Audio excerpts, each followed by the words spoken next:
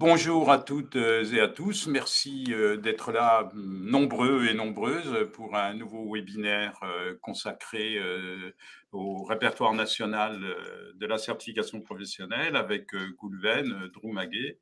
Et puis, avant de commencer, ben, Goulven et moi, nous vous souhaitons bien évidemment la bonne année, une bonne année à, à tout le monde, faite de succès et d'enregistrement de titres euh, professionnel au RNCP euh, pour ceux qui le souhaitent et qui ont des, projets euh, intéressants en ce domaine. Voilà, donc je ne vous présente pas Goulven Droumaguet que vous avez déjà vu. On a fait un webinaire l'année dernière sur le répertoire spécifique.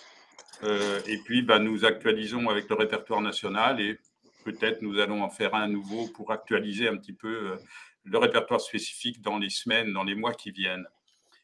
Goulven, je te laisse euh, la, main pour euh, euh, notre, sujet du jour, comment enregistrer une certification au RNCP. Alors avant de commencer, encore une fois, on va essayer de répondre à quelques questions, mais comme vous êtes très, très, très nombreux, on, est, on a dépassé les 1800 inscrits, il va être difficile de répondre aux questions. C'est pour ça que nous avons prévu un deuxième webinaire la semaine prochaine avec Elodie et Arnaud Cavitjoli et on essaiera d'apporter des réponses aux questions que vous aurez posées dans le webinaire d'aujourd'hui.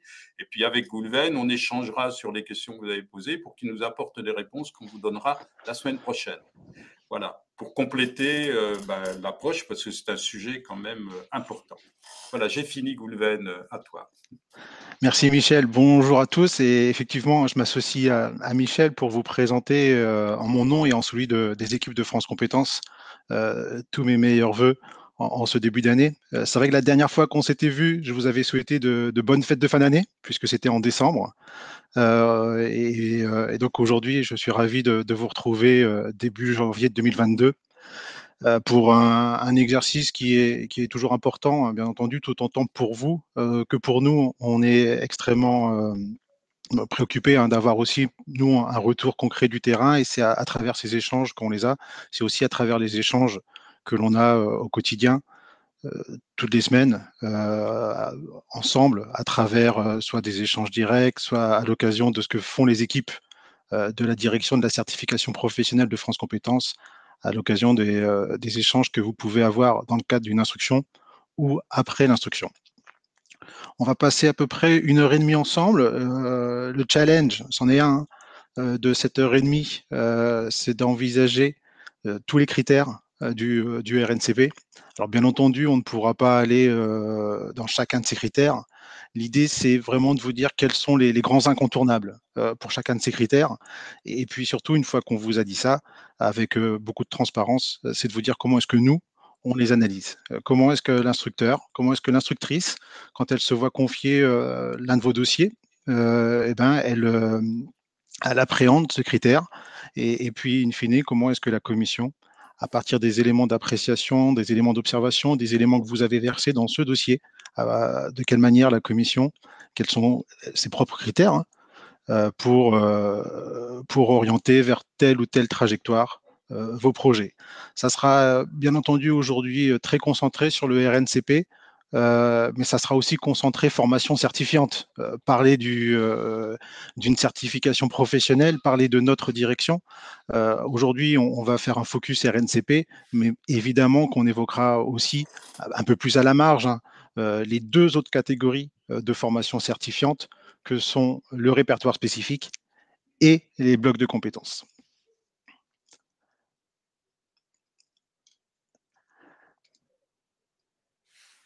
Dans un premier temps, je voulais partager avec vous euh, le support. J'ai eu peur que le support PowerPoint ne fonctionne pas. Euh, quelques éléments d'actualité. Euh, d'abord parce qu'on est en, début d'année et un début d'année, c'est toujours l'occasion, pas que des bonnes résolutions, même si on en a prise, c'est aussi l'occasion d'un bilan. Donc voilà, je voulais partager avec vous le, le bilan de l'année 2021. la commission s'est réunie 12 fois pour observer les demandes d'enregistrement dans les répertoires nationaux elle se réunit exactement 13 fois dans l'année, puisqu'il y a aussi une commission qui avait été dédiée, on va s'en reparler, aux métiers émergents.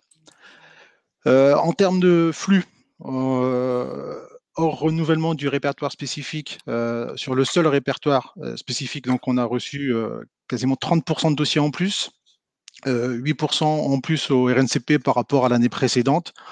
Pour vous le dire plus simplement, on a eu plus 25% de dossiers.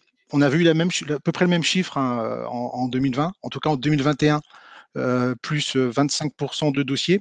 Et, le challenge pour nous était de ne pas dégrader le délai d'instruction, euh, qui, euh, est une vraie préoccupation. Il y a un vrai enjeu sur le délai, hein, on le partage.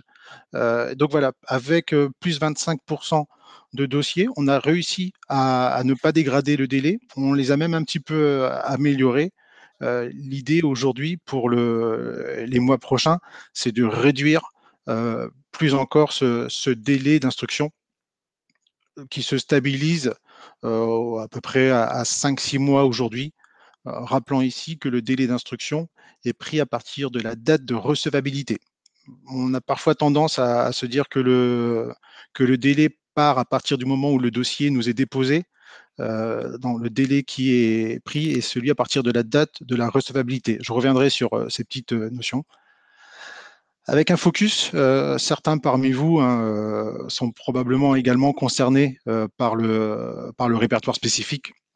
le répertoire spécifique, il a vraiment, vraiment énormément mobilisé les équipes ici sur les trois derniers mois de l'année. on a vraiment concentré une partie de notre énergie pour le renouvellement de l'ex-inventaire. Ça se traduit par plus de 500 décisions sur le seul répertoire spécifique, des délais qui ont été considérablement euh, réduits. On est sur un, délai approximatif euh, d'environ trois mois. On est même euh, bien en deçà pour certains dossiers et des taux de décision favorables qui sont, alors qui restent pas force, enfin qui restent pas satisfaisants, mais des taux de décision favorables sur le renouvellement du répertoire spécifique qui sont à hauteur de 30%, un peu plus de 30% lors du premier examen. Euh, là où en moyenne, vous le savez, hein, ce sont des données qui sont publiques, le, taux de refus au répertoire spécifique, il est plutôt de l'ordre de 85%. Au, RNCP, on est plutôt sur un dossier sur deux, avec une distinction quand même entre les dossiers en renouvellement et les dossiers en, création. Mais je vous dirai un, petit mot tout à l'heure, hein, quand on sera sur euh, cette étape, euh, de, de quelle manière on distingue aussi, nous, création, renouvellement. Le calendrier de la commission, euh, c'est quelque chose qu'on nous demande souvent. Euh, quelles sont les dates de la prochaine commission? Est-ce qu'on peut avoir ces dates? Euh, Eh bien, aujourd'hui, oui. voilà, je les partage avec vous. vous avez à l'image le calendrier complet du premier semestre 2022. La commission se réunira également en juillet. il n'y a qu'au mois d'août où elle ne se réunit pas. Et, puis ensuite, elle reprendra à partir du mois de septembre euh, une activité traditionnelle. Donc, ça se concentre, hein, vous le voyez souvent aux alentours du 24-25 du mois. Euh, alors, ces éléments, ils signifient deux choses. La, première chose, je l'ai mis à l'écran, euh, c'est que les dossiers doivent être mis à la disposition des membres, c'est dans le règlement intérieur, au moins dix jours avant la date de la commission. donc, là, pour vous, si jamais dans le cadre de l'instruction, vous aviez un échange, euh, dites-vous bien qu'il faut prendre en compte ce délai. Il y a des délais qui sont incompressibles. On, pourrait euh, optimiser à, travers tous les leviers le travail de l'instruction. On aurait toujours certains délais qui seraient incompressibles.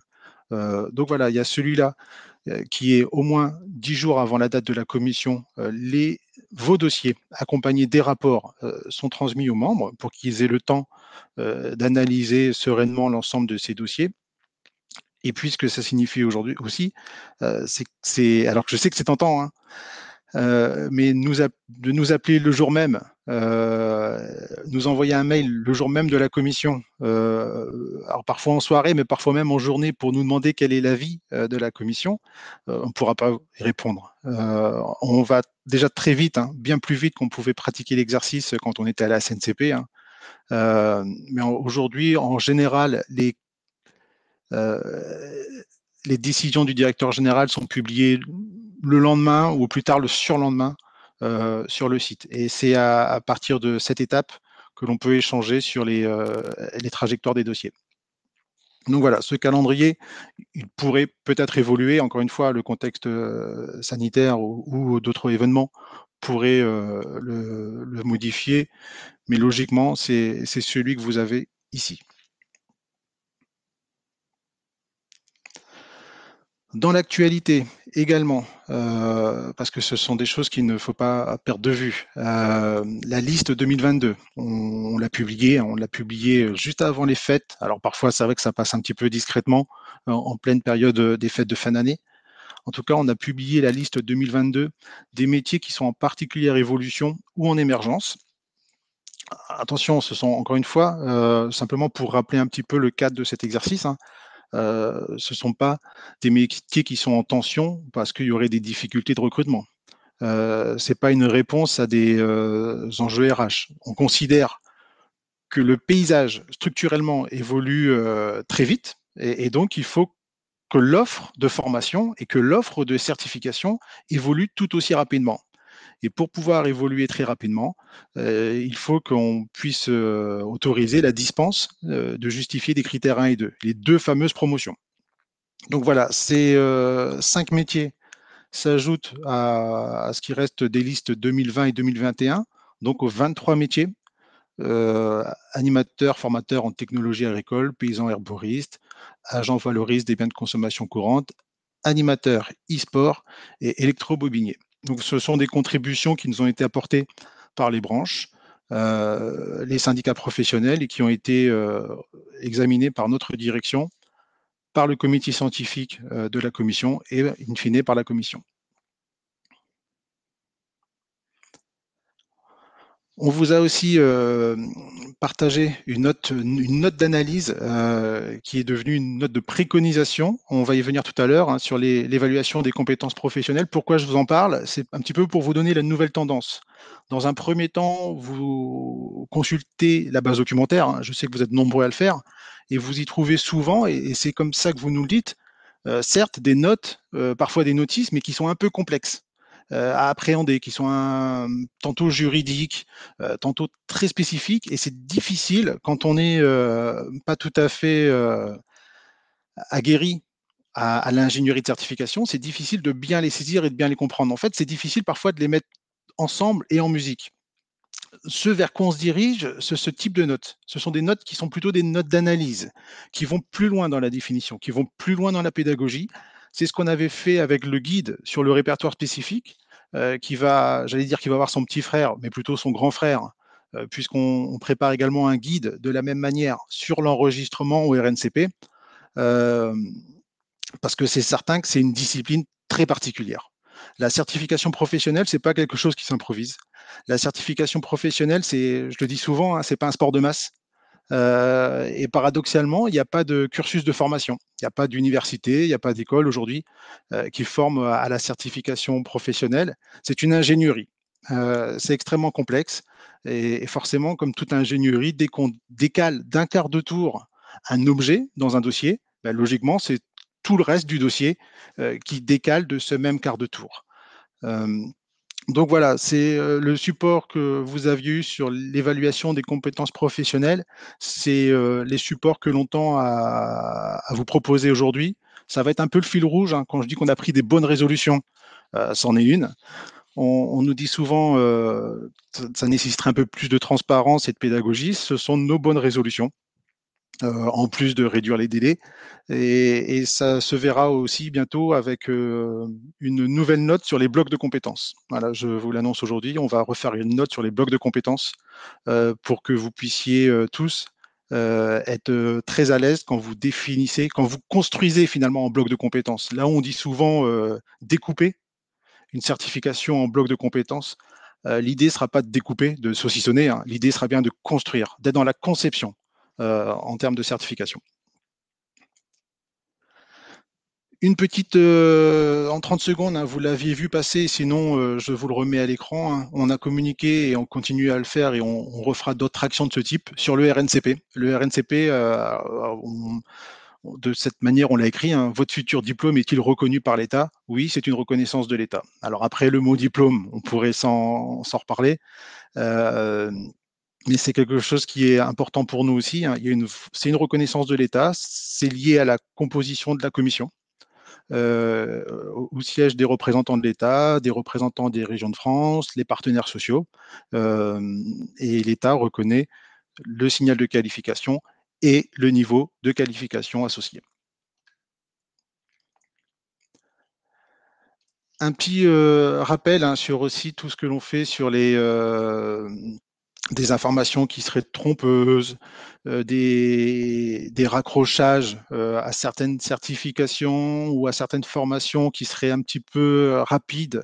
On l'a beaucoup vu, notamment à travers la mobilisation du CPF sur la plateforme EDOF, où on raccrochait parfois sur certaines certifications euh, c'était un peu tentant, puisque l'accès était euh, assez libre, hein, de, mettre des formations derrière des certifications euh, qui n'en avaient pas tout à fait la, même nature. ça fait plusieurs mois, vous le savez, hein, qu'on communique là-dessus, qu'on dit attention, que l'on a structuré chez nous une équipe contrôle. Je vais aussi vous en parler. et bien tout ce qu'on se dit depuis, plusieurs mois, ça va devenir très concret dans les tout prochains jours. et aux alentours du 24-25 euh, janvier, il y aura un accrochage complet euh, entre EDOF et notre système d'information qui font que les organismes de formation qui ne sont pas reconnus comme étant habilités euh, par le certificateur pour préparer à sa certification ne pourra plus saisir. donc il va avoir un vrai blocage, ce qui permettra au certificateur d'être très à l'aise sur ce, que, ce qui apparaît sous leur certification euh, dans les différentes euh, open data et notamment euh, sous EDOF.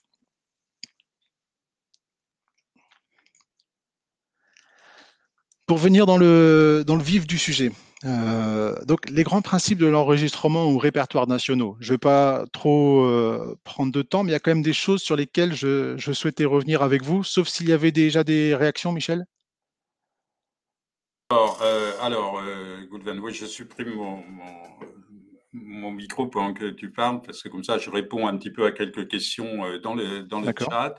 Alors, il y a une dernière question, puisque j'allais justement sur la question du mot diplôme. Et il y a quelqu'un, euh, Stéphane, qui nous dit les diplômes ne représentent pas l'ensemble des titres RNCP. C'est dommage d'utiliser ce terme qui réduit la valeur et la reconnaissance de la certification des compétences. Vous le savez bien, pourquoi ne pas rester sur cette vision générale? Alors, comment utilise-t-on ou pas le mot diplôme? Parce que jusqu'à présent, euh, j'entendais que les diplômes étaient réservés à, l'État et que maintenant, euh, on peut dire c'est diplôme d'école ou diplôme de, de tel. Alors, on peut l'utiliser ce mot pas, parce qu'il y a une ambiguïté sur le mot diplôme au sens où je fais une remise des diplômes, au sens euh, morceau de papier, euh, ce qu'on appelle chez France Compétences le parchemin. Le fameux parchemin. Le fameux parchemin. Donc, euh, voilà. Donc, quelle est l'utilisation il, faut, bien voir cette. Non, non, il faut, il faut bien voir le, vecteur hein, qui était celui de, de cette campagne que l'on a fait sur les réseaux sociaux, notamment sur les réseaux sociaux destinés aux plus jeunes aussi pour les encourager à, aller voir ce qui se passe du côté de l'enseignement supérieur privé à, l'occasion de Parcoursup. Hein. Euh, donc, c'est pour ça qu'on a parlé de diplôme, parce que ça parle à tout le monde. Si on parle de certification, de parchemin, d'attestation, euh, c'est moins simple. Euh, pour se le dire très simplement, juridiquement, le mot diplôme, il est dans le dictionnaire, c'est un nom commun. C'est ce qui suit derrière qui est encadré, ou c'est dans le contexte dans lequel on communique euh, sur le, mot diplôme. Donc ici, euh, on l'a fait vraiment sur l'accrochage entre les diplômes RNCP. Effectivement, quand on est puriste, on va plutôt parler de certification professionnelle pour le RNCP, euh, sur le, parchemin, sur ce qu'on délivre. En revanche, sur les supports de communication, à l'occasion d'une cérémonie de remise, notamment sur un, site internet, la communication et il faut, être vigilant encore une fois. Si jamais vous utilisez diplôme, c'est pas ce que l'on préconise d'ailleurs. Hein. Euh, dans quel contexte ça s'inscrit? En aucun cas euh, d'écrire que c'est un, diplôme délivré par l'État ou quoi que ce soit. Euh, mais une fois que vous avez pris ces précautions d'usage, éventuellement quitte à, ce qu'on les valide ensemble. Hein. Si jamais vous aviez un doute, certains le font, hein, à l'occasion de l'enregistrement ou du renouvellement euh, nous interroge sur les sites Internet, puisque vous vous doutez bien que ça fait partie des éléments que l'on observe dans le cadre de l'instruction. Euh, on peut s'en parler, mais euh, sinon, non, soyez, soyez plutôt à l'aise. Voilà, alors encore peut-être une autre petite question qui était tout à fait au début. Gaëtan nous demandait, peut-on déposer deux dossiers simultanément, un pour le RNCP et l'autre pour le RS, pour une même formation? Techniquement, oui juridiquement, oui.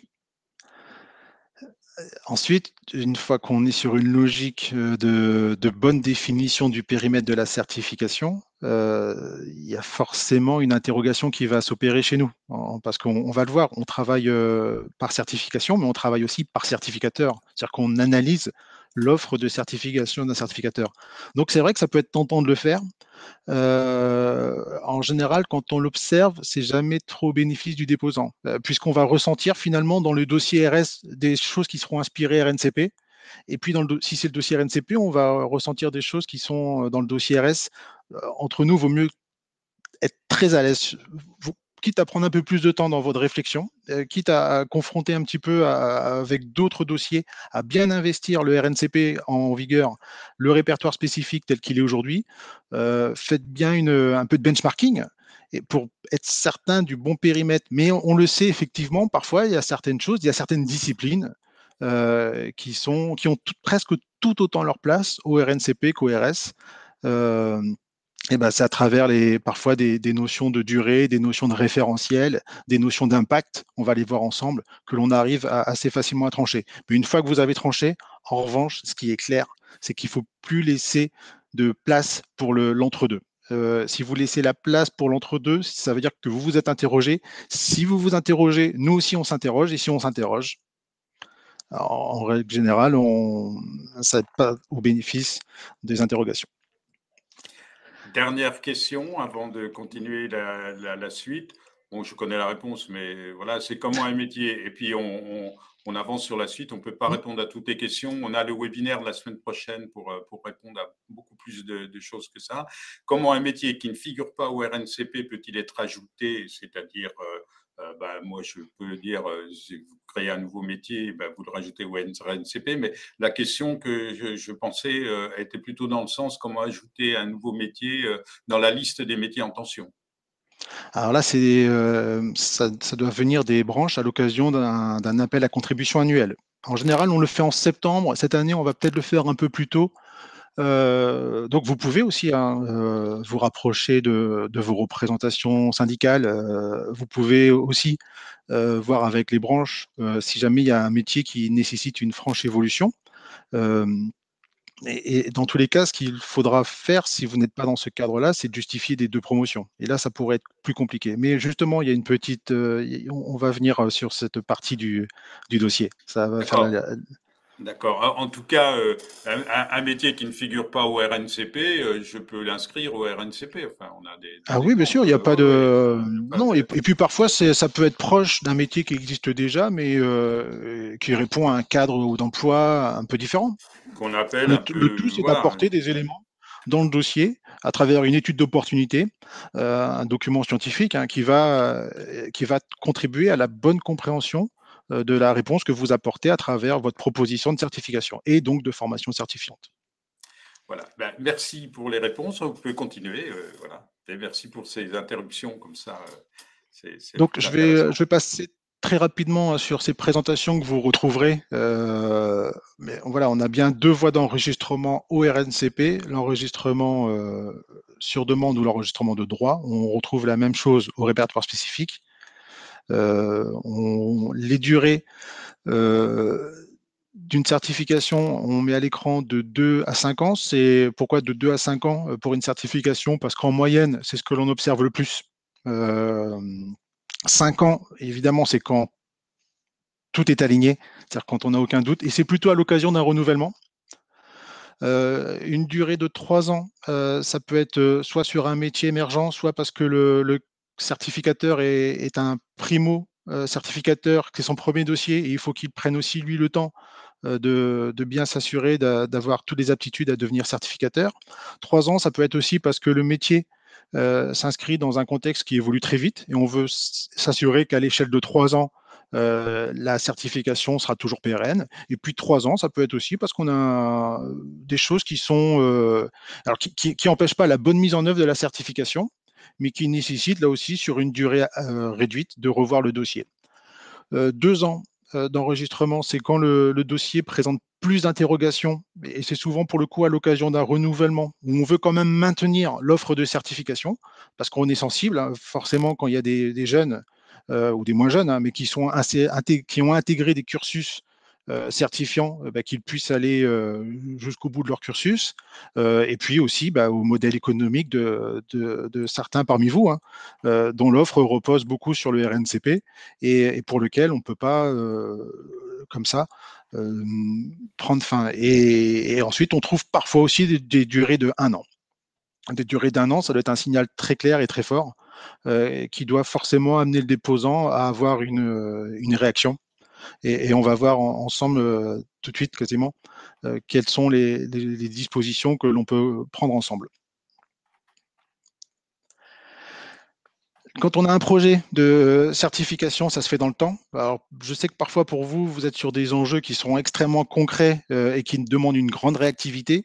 mais en tout cas, quand on est sur un, certificateur qui nous dépose un dossier, le délai moyen pour l'ensemble de la procédure entre la phase de recevabilité et la notification de la décision, il faut compter quasiment sept mois. Il faut compter quasiment sept mois, avec une grosse partie, euh, bien entendu, qui est consacrée à l'instruction. On, considère que l'instruction euh, s'étale sur une période de cinq mois.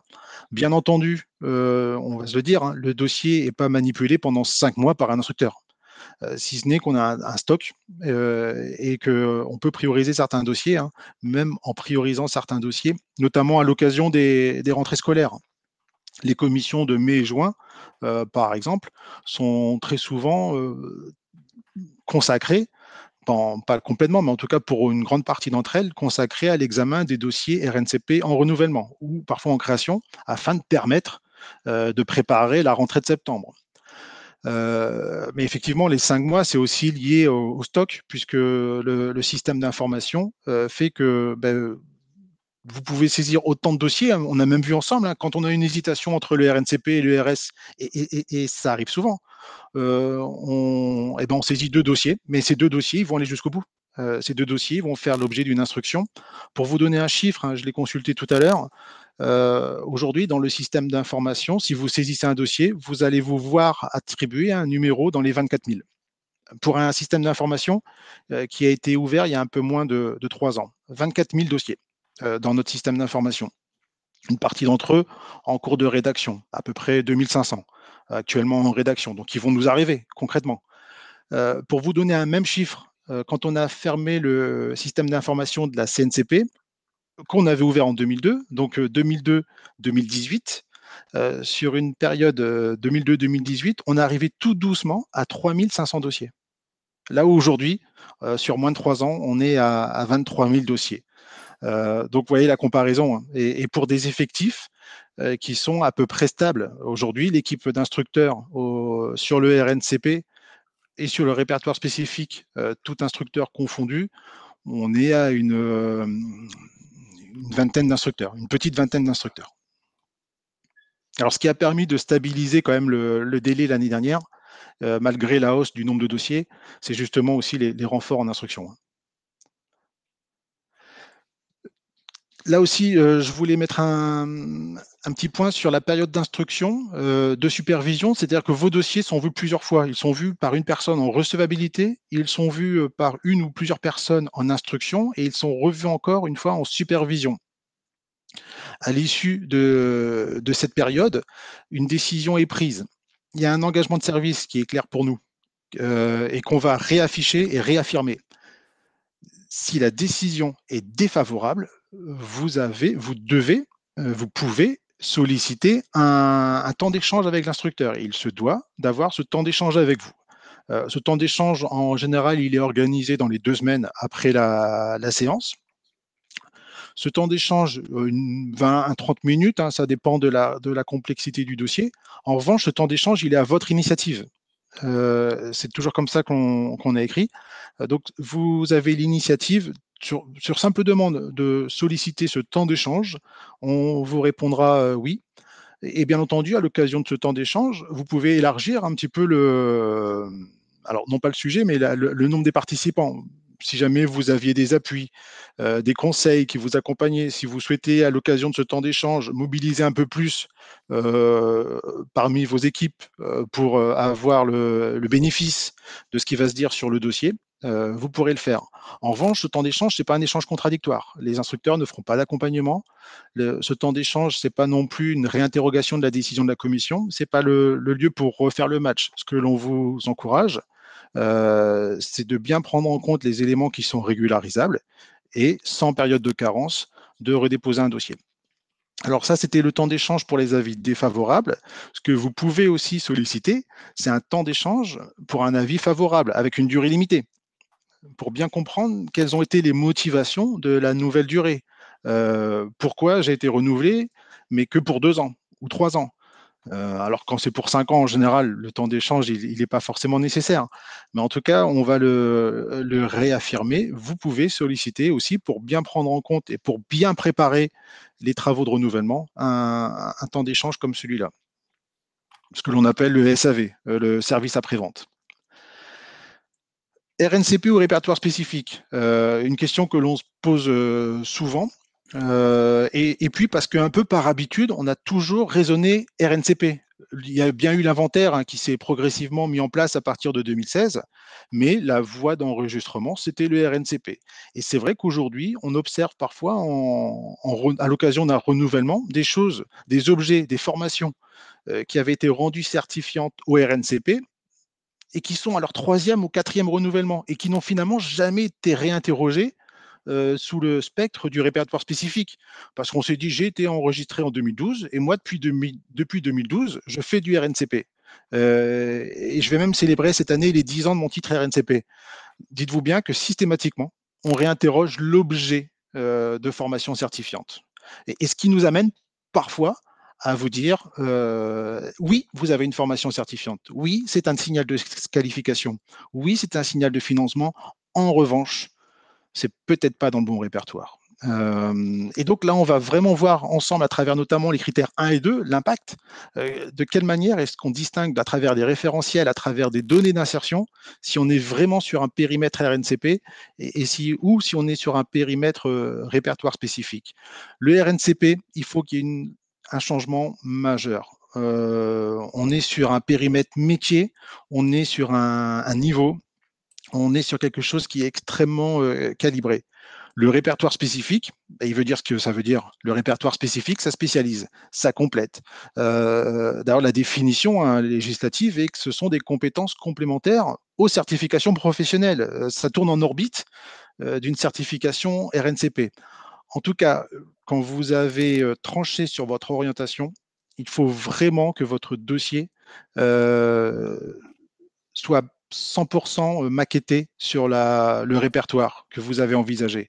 On voit encore, hein, la commission se réunit, vous l'avez vu la semaine prochaine, elle examinera des dossiers du répertoire spécifique euh, au sein duquel les déposants ont, versé les compléments au dossier du RNCP, avec des référentiels complets RNCP, avec parfois même des données d'insertion. Là, vous voyez déjà, forcément, ça interroge.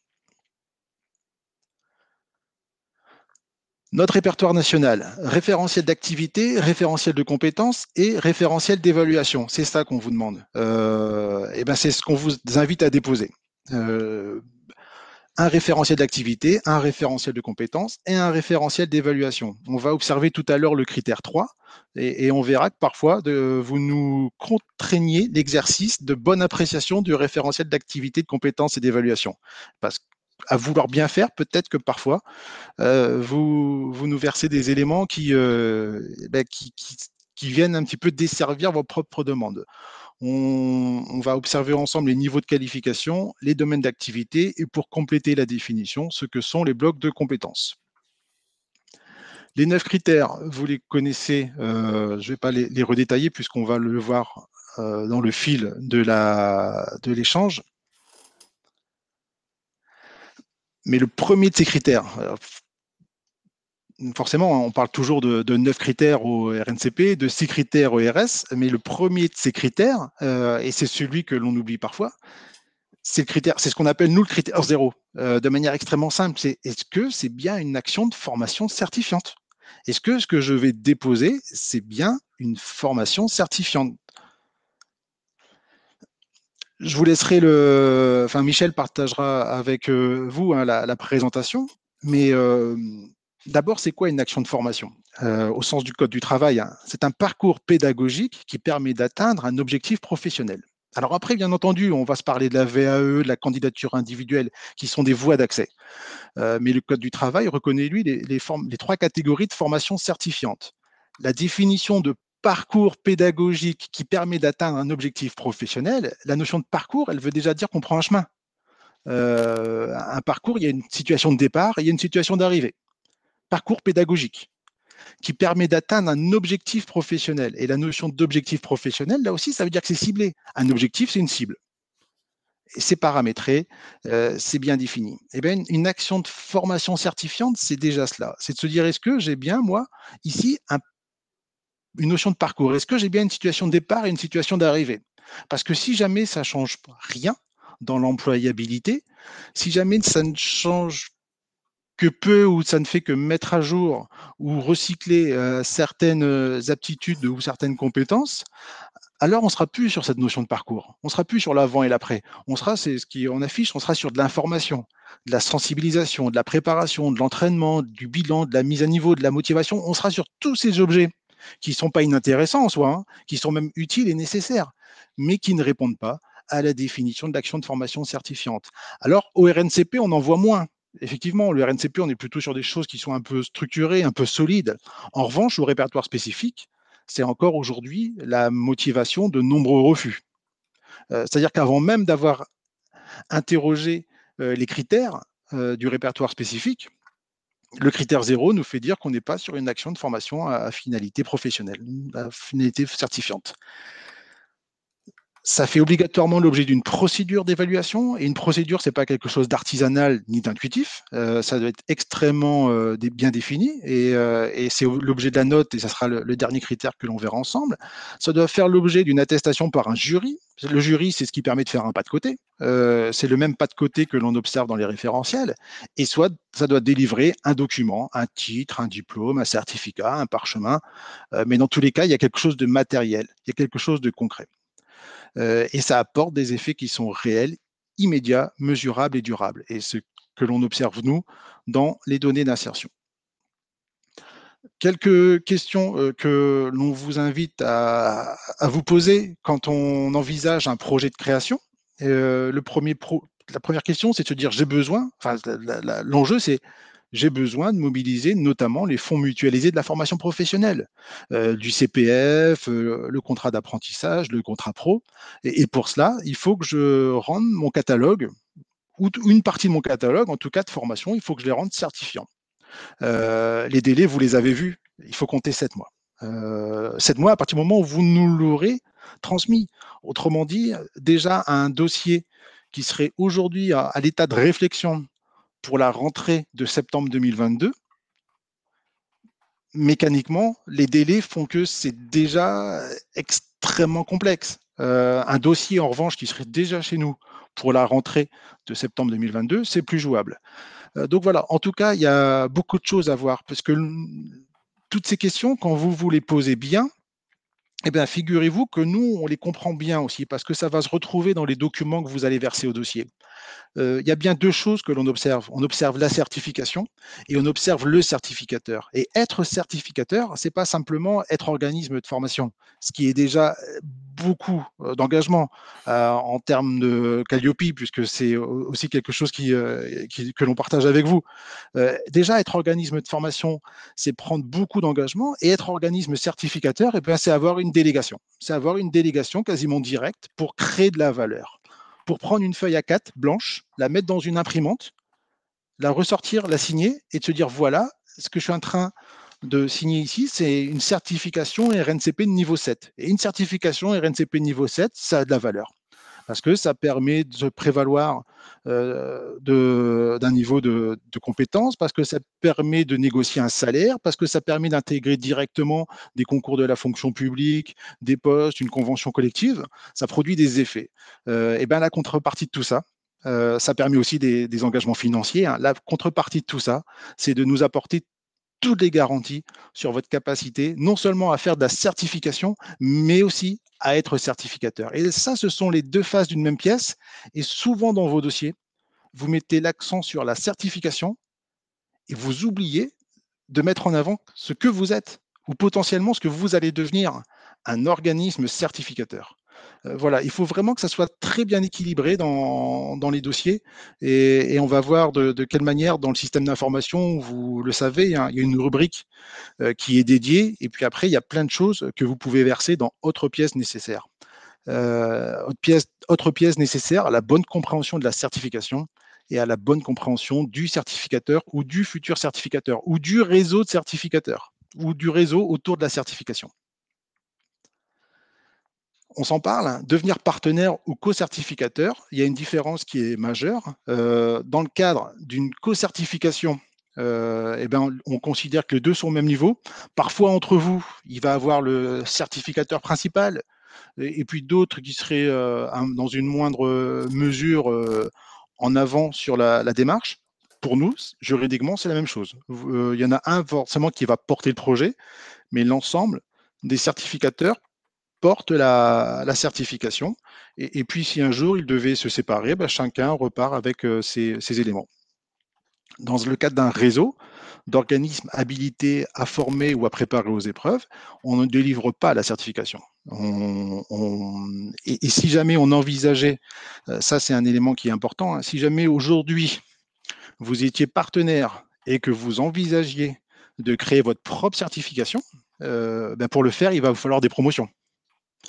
Et, là, vous allez nous dire, mais des promotions, j'en ai, puisque j'ai formé, moi, pour la certification euh, de mon ancien euh, certificateur. Euh, sauf qu'il faut que vous ayez vraiment la, propriété intellectuelle de ces promotions. On va s'en parler dès les critères 1 et 2. Ces deux critères. Le premier critère, c'est l'adéquation des emplois occupés par rapport au métier visé. Euh, c'était tout à l'heure ma notion de cible. Quand je vous parlais d'une cible, euh, si vous nous dites que je suis sur un manager euh, du développement commercial à l'international, il faut que dans les intitulés de poste, alors il ne faut pas non plus que ça soit systématique, mais il faut que dans les intitulés de poste, on a des choses qui soient proches de cet intitulé, en tout cas dans le spectre des intitulés. on travaille sur les mêmes ressources que vous, on travaille avec les quadromes notamment on doit avoir une cohérence dans le niveau. Si jamais vous positionnez votre certification au niveau 7 et que dans les éléments d'insertion, on n'est pas sur des, euh, niveaux 7, mais plutôt sur du niveau 6, voire infra, ça peut s'expliquer en primo-insertion. Mais dans ce cas-là, il faut l'anticiper.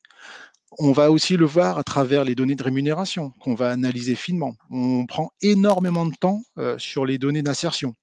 Euh, quand je dis énormément de temps, sur certains dossiers, euh, ça prend des, journées entières. On a des outils, bien entendu, mais on vérifie euh, parfois au doigt, ligne par ligne, euh, les données d'insertion. On va voir si les effets de la certification sont durables. Quel est le contrat de travail? Est-ce que les gens s'insèrent durablement? Est-ce qu'ils sont en, cumul d'activité Bien entendu, tout cela, on le met un petit peu en pondération selon les certifications par rapport à la crise sanitaire. Il est évident parce qu'on y est très sensible et la commission également. Il est évident que dans certains secteurs, je pense à l'hôtellerie, le tourisme, la restauration, le luxe, mais il y en a d'autres, hein, quasiment tous finalement, d'une certaine manière, plus ou moins fortement, ont été impactés en termes d'insertion en 2020 et 2021. C'est plus difficile pour un, un, jeune qui est chargé de projet dans le domaine du tourisme de s'insérer en 2020, 2021. Voilà. Et puis, euh, donc, soyez extrêmement attentifs à, ces données. Euh, si jamais vous n'étiez déjà pas à l'aise quand vous faites des enquêtes de suivi, parce que vous êtes parti sur le principe que c'était un niveau 7, je vais rester sur ce niveau 7 hein, pour qu'on ait une grille de lecture, et que dans vos propres données de suivi, euh, vous voyez que finalement, ben, l'insertion, elle n'est pas dans le niveau ou, elle n'est pas durable, alors il faut peut-être déjà vous interroger avant de nous déposer le dossier. Ou alors, si ce n'est pas très clair pour vous, dites-vous que vous pouvez verser au dossier d'autres éléments euh, qui viendraient bien faire comprendre euh, pourquoi parfois il y a certaines données qui sont, euh, qui sont un peu fragiles. Dans ce critère, on dit aussi au moins deux promotions. Alors c'est sûr, le plus simple, c'est d'en mettre deux. Puisqu'on en au moins deux, le plus simple, c'est d'en mettre deux. et puis finalement, souvent, on met les deux dernières. Ne vous privez pas d'en mettre plus vous pouvez mettre plus de deux promotions. On dit au moins deux. Non seulement ça peut être plus que deux, mais ce n'est pas forcément les deux dernières. Alors non seulement vous ne devez pas vous en priver, mais je serais même tenté de vous dire, n'hésitez pas à le faire. C'est même recommandé. Euh, parce qu'il n'est pas impossible qu'on vous le demande, euh, sur ces fameux niveaux 7, encore une fois, et même sur du niveau 6. Si jamais l'insertion à 2 ans, elle n'est pas dans le niveau, rien ne vous empêche d'aller chercher l'insertion à 5 ans. Vous complétez, vous enrichissez le dossier, vous l'enrichissez avec une promotion à 5 ans. Effectivement, les deux dernières promotions en termes d'insertion, c'est un peu juste pour bien apprécier le niveau, pour bien apprécier la, pérennité et la stabilité du, euh, job eh bien, vous allez chercher à 5 ans. Euh, si vous les avez, évidemment. Hein. Euh, si vous les aviez sous votre propre nom, en général, à l'occasion d'un renouvellement, on les détenait déjà. Et si c'était dans le cadre d'une certification, en partenariat, ça peut aussi s'envisager. mais voilà, dites-vous que si déjà vous êtes à l'aise sur ce premier critère, et si c'est le premier critère, c'est parce qu'il est déterminant, ce critère. c'est pour ça qu'il est en numéro un. C'est la première chose que l'on va observer. Euh, voilà, ne vous satisfaisez pas du, minima. C'est au moins deux promotions. Vous pouvez en mettre plus. Parfois, il suffit de trois années pour bien voir l'insertion. Et parfois, il faut aller chercher un peu plus loin. En règle générale, euh, 5 ans sur un, niveau 7, c'est ce qui permet vraiment de, bien montrer les trajectoires. Au-delà, euh, c'est pas utile. Pourquoi? Parce qu'on sait hein, euh, qu'au-delà de 5 ans, la mobilité des titulaires n'est plus forcément liée à leur diplôme. Euh, mais plutôt à leur expérience, au poste occupé ou à d'autres suggestions. Voilà pour ce premier critère. Le deuxième critère, c'est l'impact. C'est la situation de départ et la situation d'arrivée. Euh, je reviens toujours sur la même définition finalement, hein, c'est celle d'une formation certifiante. Quel était l'avant et quel était l'après? Il faut vraiment qu'on ait une trajectoire ascendante sur ces données d'insertion. Euh, et il peut avoir plusieurs types de, mouvements. Le, ce mouvement, on peut le voir sur le niveau. Le niveau d'entrée, ce sont des bacheliers euh, qui aujourd'hui euh, occupent des postes. Je vais prendre un très grand raccourci, hein, mais pour que ça soit le plus lisible pour tous. ce sont des bacheliers qui aujourd'hui occupent des postes qui sont reconnus comme étant des postes Bac plus 3. J'ai une évolution ce sont des gens qui n'ont pas forcément euh, structurellement, foncièrement changé euh, de, nature de, contrat de travail, mais qui ont fortement changé de rémunération. J'ai une évolution. Et parfois, c'est plutôt sur le contrat de travail. Ce sont des gens qui étaient occupés sur des postes ou des emplois précaires et que l'on retrouve durablement installé sur des CDI, j'ai une évolution. Voilà, j'ai un impact, j'ai vraiment un effet de la certification. Et donc, cette ligne ascendante, vous devez aussi la, retrouver dans vos dossiers quand vous nous les déposez. Bien entendu, vous devez à six mois, et ça c'est ce que l'on attend systématiquement, nous communiquer les éléments d'insertion. Et pour ce que l'on appelle l'emploi actuel, c'est l'emploi à la date de réalisation de l'étude. Alors parfois, il n'y a pas beaucoup plus que six mois. En, général, vous allez souvent nous les proposer à, un an ou à deux ans. À un an, il n'y a pas forcément non plus beaucoup d'évolution. Ne cherchez pas à, tout prix à, accélérer la courbe. S'il n'y a pas d'évolution, il n'y a pas d'évolution. Euh, de la même manière à deux ans. Ce que je veux vous dire là, c'est que ça va être un exercice de très grande transparence. Euh, parfois, on est tenté, à l'occasion de ces euh, données d'insertion, on est tenté de, d'en filtrer certains. On se dit, bah, lui, il il va pas donner un grand avantage à mon calcul de pourcentage. Euh, je je vais pas le retenir. quand je vous dis qu'on lit les données à la ligne par ligne, c'est qu'on forcément on compare aussi ces tableaux avec les PV. Et donc on regarde les titulaires qui sont sur les PV, avant même parfois de regarder les titulaires qui sont dans les tableaux. Ce qui est déterminant, parfois vous passez énormément de temps euh, à, faire ces tableaux et vous négligez complètement la fiche 6. Les tableaux, c'est la fiche 7. Mais pour que l'on comprenne bien les tableaux en fiche 7, on a mis juste avant une fiche 6. Et eh bien cette fiche 6, il faut la soigner. Elle ne sera jamais assez soignée. C'est celle qui va vraiment permettre de bien faire comprendre les tableaux d'insertion. Donc, oui, prenez du temps pour bien faire les tableaux d'insertion en fiche 7, mais surtout, soignez la fiche 6. Malheureusement, on, voit tous les mois des fiches 6 qui ne sont même pas renseignées. C'est-à-dire qu'il n'y a rien. alors que la fiche 6, c'est ce qui donne la première impression. Et, on n'a qu'une occasion de faire une première bonne impression. Donc forcément, la première chose qu'on vous demande dans la fiche 6, c'est c'est quoi votre dispositif de collecte de l'information? Comment est-ce que vous faites pour les suivre? À six mois, à un an? Est-ce que vous faites des événements? Est-ce que vous avez une base de données Excel? Est-ce que vous faites des relances téléphoniques? Toute la richesse que vous avez, ben, offrez-la nous, mettez-la dans le dossier, donnez quelques exemples. Vous pouvez même verser, si vous le souhaitez, et certains le font spontanément, des captures d'écran ou des extraits de, vos tableurs Excel. D'autres les livrent intégralement même voilà, donnez-nous l'outillage, euh, l'arrière-cuisine qui vous permet de produire ces, documents. Parce que parfois, on a des, données et on se dit, mais comment est-ce qu'ils ont réussi à, les obtenir? Euh, et, notre préoccupation, c'est même de se dire, comment est-ce qu'ils vont réussir à continuer Parce que peut-être qu'ils ont fait une action coup de poing pour créer le dossier, et puis derrière, ils n'ont rien envisagé pour les, euh, les futurs titulaires. Voilà, ça c'est un élément qui conditionne aussi l'enregistrement. Dites-vous que si vous ne détaillez pas le dispositif de suivi, euh, et l'outillage que vous avez mis pour euh, être en capacité de suivre vos titulaires, vous allez déjà compromettre la bonne appréciation des critères 1 et 2. ce qui est important aussi de retenir, c'est la période de référence pour une promotion. Alors, je sais qu'on pourrait en débattre, parfois on parle de cohorte, mais en tout cas, c'est une période de référence de un an. C'est l'ensemble des titulaires, quelle que soit la voie d'accès, qui ont été diplômés sur telle année. Euh, s'il y a eu des décalages, s'il y a eu des reports, bien entendu, hein, en toute transparence, il faut les, partager avec nous. Mais la manière dont on, souhaite que les données nous soient transmises, c'est sur, une, c'est sur un calendrier annuel. Il ne faut rien oublier. Euh, l'ensemble des voies d'accès, mais aussi l'ensemble des sites qui ont préparé à la certification, l'ensemble des sites qui ont contribué, l'ensemble des partenaires doivent être versés. Vous ne devez pas filtrer de données. Euh, aujourd'hui, on a des moyens euh, pour vérifier le nombre de titulaires qu'il y a vraiment eu. Alors, quand il y a un peu d'écart entre ce que vous déclarez dans les dossiers et ce que nous, on observe, euh, on va, on va pas aller au-delà quand, l'écart est marginal. En revanche, parfois, on a des, ratios qui vont du simple au triple. On a même vu euh, de 1 à 10.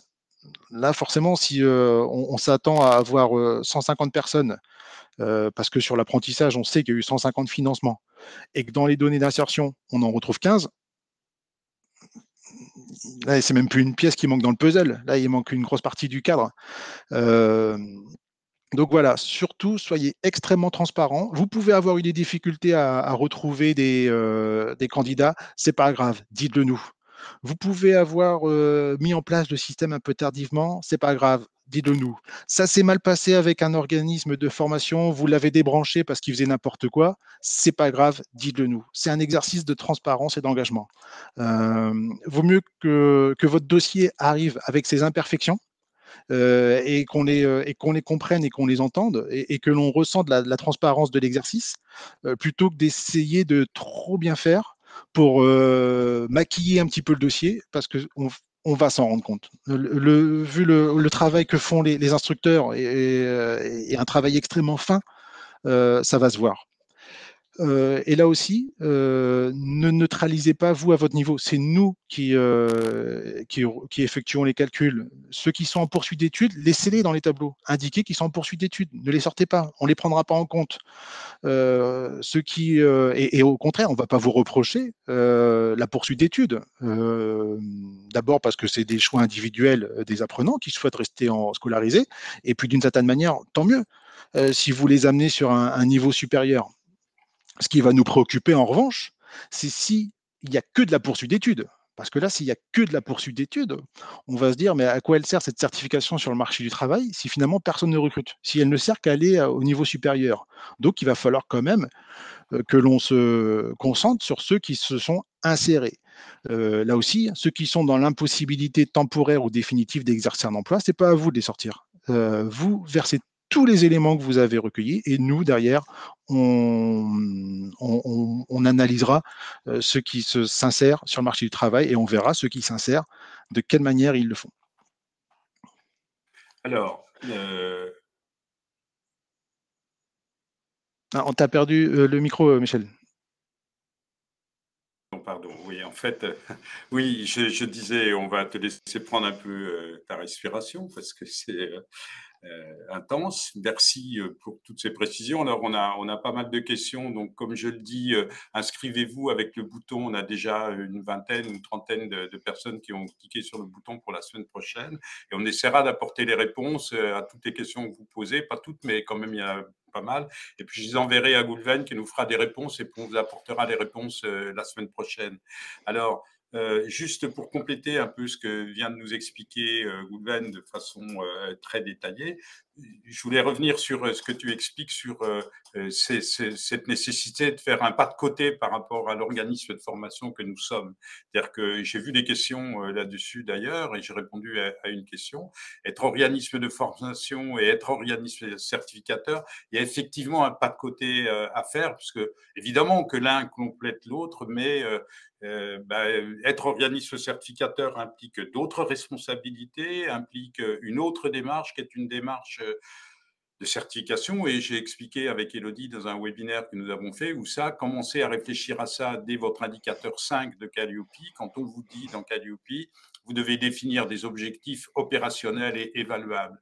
Eh bien, c'est une modalité d'évaluation de ces objectifs opérationnels qui vont commencer à construire votre certification professionnelle. On est d'accord, euh, Goulven hein? Mmh, hein et puis, euh, et puis euh, dernier point, dans ce que je viens d'entendre de ce que nous explique Goulven, c'est que que ce soit au répertoire national ou au répertoire spécifique, il est quand même important que la certification que vous présentez à l'État pour que, faire reconnaître cette certification par l'État, c'est ce que nous a expliqué très bien Goulven, il faut présenter une certification qui existe déjà. Hein, et qui a déjà une existence. Alors ça est très formalisé au RNCP, puisqu'il faut avoir au moins deux cohortes de sortants, comme on vient d'expliquer. C'est moins clair au répertoire spécifique, mais c'est là quand même, n'est-ce pas, euh, Goulven euh, C'est le principe même de la certification, c'est une évaluation a posteriori.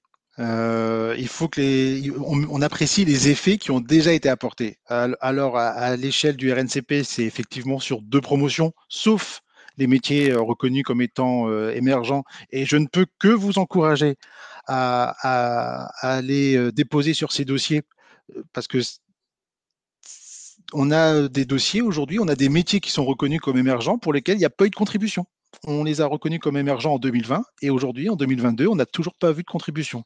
On en a vu dans les métiers de l'informatique, hein, de l'intelligence artificielle, mais sur des choses qui sont un peu plus techniques, on a quasiment peu ou pas. Euh, et, quand je dis peu, parfois on n'en a qu'une. Et, là, ce qui n'est pas bon non plus, c'est quand on n'a qu'une certification, bah, c'est que l'on crée une situation de monopole ou de quasi-monopole.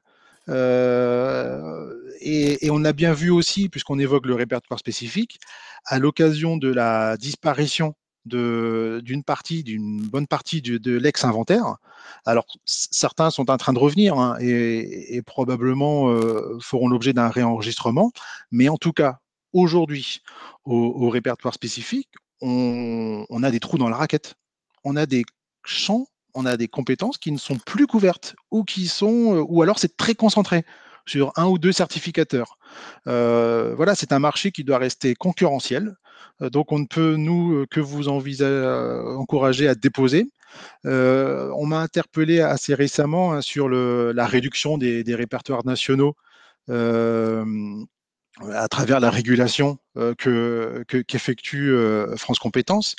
Euh, pour vous donner un chiffre, hein, le RNCP, quand, au 1er janvier 2019, au 1er janvier 2019, le RNCP, c'était 2100 certifications. Aujourd'hui, le même RNCP, c'est un peu plus de 1900 certifications. Euh, finalement, le RNCP, on est quasiment sur les mêmes, euh, sur les mêmes volumes. Euh, et sur le répertoire spécifique, s'il y en a moins, c'est plutôt en règle générale lié à des, à des sujets très techniques.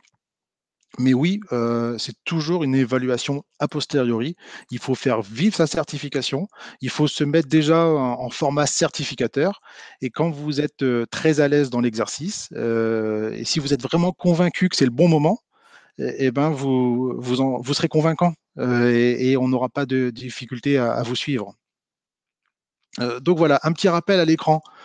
Puisque je sais que ça, s'organise aussi beaucoup sur des logiques de réseau, de co-certification, d'habilitation à former, d'habilitation à préparer aux épreuves. La petite chose qu'il faut retenir, c'est c'est quasiment un contrat de mariage que l'on signe en incluant déjà les causes du divorce. En se disant, OK, on se réunit aujourd'hui pour deux ans parce que moi, j'ai besoin de faire mes promotions. Mais on anticipe déjà de quelle manière on va se séparer. Parce que si c'est pas fait en amont, c'est toujours très compliqué. et si nous, on n'est pas tout à fait certain que les promotions que vous avez versées sont, vous avez été autorisé à le faire, et, puis parfois on interroge le, porteur et qui nous dit non, ou alors qui nous dit OK, mais c'est pas tout à fait ça, parce que finalement, ça restera derrière un, in fine un, jeu de concurrence. voilà, vous pouvez envisager toute forme de partenariat, toute forme de réseau, mais protégez-vous. Euh, protégez-vous. Si, alors si la finalité c'est de rester certificateur, de rester euh, habilité, il n'y a pas de difficulté. Mais si c'est dans une stratégie de devenir vous-même certificateur, une fois que vous aurez un petit peu mûri le projet à l'échelle euh, de deux ou trois ans, envisagez immédiatement les conditions de, de, de, la séparation de vous et de la certification. Je, t'interromps très deux secondes sur ce sujet, Goulven, parce qu'on a, on a deux, trois questions dans, dans le chat qui, qui répondent, qui, qui, correspondent exactement à ce que tu es en train de, dire. c'est la question, c'est est-ce que je peux utiliser J'ai formé des cohortes pour un mmh. certificateur. Est-ce que je peux utiliser ces cohortes pour déposer? La réponse est non, parce que le propriétaire des cohortes, le propriétaire des cohortes, c'est le certificateur. Sauf, si vous avez un, c'est ce qui est en rouge, hein, dans le bandeau rouge, mais c'est important parce que c'est souvent malheureusement euh, euh, oublié, euh, sauf si vous avez quelque chose qui justifie du transfert de la propriété intellectuelle de ces promotions. Et pourquoi c'est important? Parce que ça veut dire que le certificateur lui-même ne pourra plus s'en servir. il vous autorise à utiliser ces promotions pour créer votre certification. Ça veut dire que lui, il ne pourra plus s'en prévaloir pour son propre renouvellement, pour le coup. Et, soyez assurés qu'on vérifie systématiquement.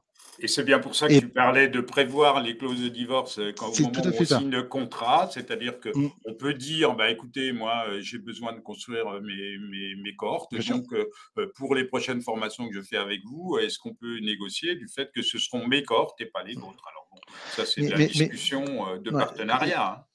Et, quand euh, quand l'exercice n'est pas tout à fait euh, stabilisé, euh, on le voit très vite finalement. Pourquoi? Parce que dans les promotions que vous nous versez sur un projet en création, on va trouver du contrat d'apprentissage ou du contrat pro. On va se dire à la bonne heure, mais sur quoi ils ont mobilisé sur, sur, quoi ils ont fait financer ces contrats d'apprentissage ou ces contrats pro sur une création? Parfois, on trouve même de la VAE. On trouve de la VAE sur des projets en création. C'est c'est illégal. On fait de la VE sur une certification qui est déjà active. Donc forcément, s'il y a de la VE dans les promotions, c'est que c'était sur une autre certification. Ici, c'est pas vous euh, qui nous euh, guidez vers cette certification. Euh, on va le faire parce que dans tous les cas, même si vous nous le dites, on va les vérifier. Donc à minima, on a un process qui fait qu'on va aller voir quelle est la certification. Et en règle générale, on la trouve. Et si on voit que les promotions ont déjà contribué à, l'enregistrement du, certificateur qui en a la pleine propriété intellectuelle, alors les critères 1 et 2 euh, sont réputés euh, inobservables, sont réputés non conformes. C'est-à-dire que dès les critères 1 et 2, euh, on connaît déjà la trajectoire du dossier. Oui, je crois qu'il faut aussi prendre conscience du côté, du, côté des demandeurs que le travail que fait France Compétences ne consiste pas seulement à regarder les, papiers qu'on a envoyés, mais il y a toute une enquête autour de bah, qui est le certificateur. Enfin voilà, c'est un pour qualifier quand même la, solidité de la certification qui va être reconnue par l'État. L'État peut pas reconnaître euh, des, des, choses comme ça sans aller regarder de près ce qu'il reconnaît. Quoi l'instruction, c'est vraiment pas quelque chose d'administratif. Il y a une partie administrative, ça s'appelle la recevabilité. Euh, et d'ailleurs, parfois, quand vous êtes recevable, euh, vous vous dites c'est gagné, j'ai été recevable. Et c'est vrai que peut-être que en sémantique, recevable, euh, mais ce qui est, vous êtes recevable pour rentrer dans le cursus de, de, la démarche d'évaluation que va faire notre direction. ça, c'est la partie administrative. C'est-à-dire que vous êtes légitime pour déposer. Derrière, est-ce que là, vous êtes devez amener des éléments en qualité et en conviction, ça c'est autre chose. Mais la démarche de l'instruction, c'est vraiment pas administratif. Euh, déjà, il faut les, les, instructeurs passent énormément de temps et c'est pour ça qu'ils sont spécialisés, ils sont sectorisés. Euh, on a euh, des instructeurs qui sont ceinture noire euh, sur l'intelligence artificielle, d'autres sur le tourisme, d'autres sur le transport, l'hôtellerie-restauration, la sécurité privée. voilà, les, les instructeurs ne sont pas des généralistes. Ils viennent tous du monde de la formation professionnelle. ils ont tous un, une première partie pendant lesquelles on, progressivement on les amène sur les, les enjeux de l'instruction. Et mais dès la phase de recrutement, ils viennent avec une couleur. Euh, parce que ben, maîtriser tout autant le code du travail que le code de la santé, euh, tout autant le code du travail que le code du sport, tout autant le, code du travail que le code de la sécurité intérieure, c'est pas simple. Et, donc très rapidement, quand vous, quand vous évoquez un métier, pour eux, ça fait beaucoup de liens parce qu'ils sont en veille permanente. Ils sont en lien euh, direct avec les ministères, avec les observatoires, avec les CPNE, avec les branches, avec les partenaires sociaux, euh, avec les plus grandes fédérations. Euh, ils échangent en direct. Et donc, ils ont une vision très précise des évolutions, des ajustements. Et parfois, c'est des choses qui, qui, prennent du temps. parfois, on demande aussi leurs avis, mais c'est ce qu'ils font pour, pour conclure quand, qu'on a vraiment des, instructions qui ne sont pas des démarches techniques ni administratives. Ce sont des démarches qui sont vraiment des démarches d'investigation euh, extrêmement poussées. Pour ce qui est des référentiels, le critère 3. Euh, une fois qu'on a vu donc le critère 1 et 2, hein, il faut vraiment bien voir la trajectoire et bien voir l'impact. J'ai un parcours, j'ai une trajectoire ascendante et je suis dans un impact. Et si jamais j'ai un doute dans mes données, j'explique pourquoi. Euh, c'est-à-dire que je comble l'écart. Effectivement, dans ce que vous avez vu, la, rémunération n'est peut-être pas celle que l'on observe communément, mais j'explique pourquoi. Les référentiels. Euh, ce que l'on oublie souvent sur les référentiels, alors je vous ai remis à, l'image euh, ce que, ce que l'on attend par référentiel de compétences, référentiel d'activité, référentiel d'évaluation. La première chose, c'est que ça répond à un besoin existant. Effectivement, c'est une démarche d'évaluation.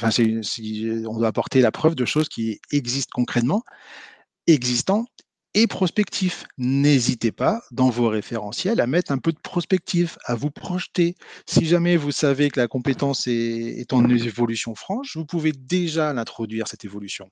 Si vous savez que vous allez investir euh, sur un plateau technique pour faire évoluer vos modalités d'évaluation, vous pouvez déjà donner cette vision prospective dans votre référentiel. les référentiels, ça doit vraiment être euh, la photographie du métier à un instant T au niveau du RNCP. Euh, ça se voit, en règle générale, ça se voit assez vite quand vous transformez votre ingénierie de formation ou, vos, contenus pédagogiques hein, quand vous les transformez en certification. C'est-à-dire que vous mettez juste avant être capable de. Logiquement, ce que l'on entend par des référentiels, c'est d'analyse de l'emploi.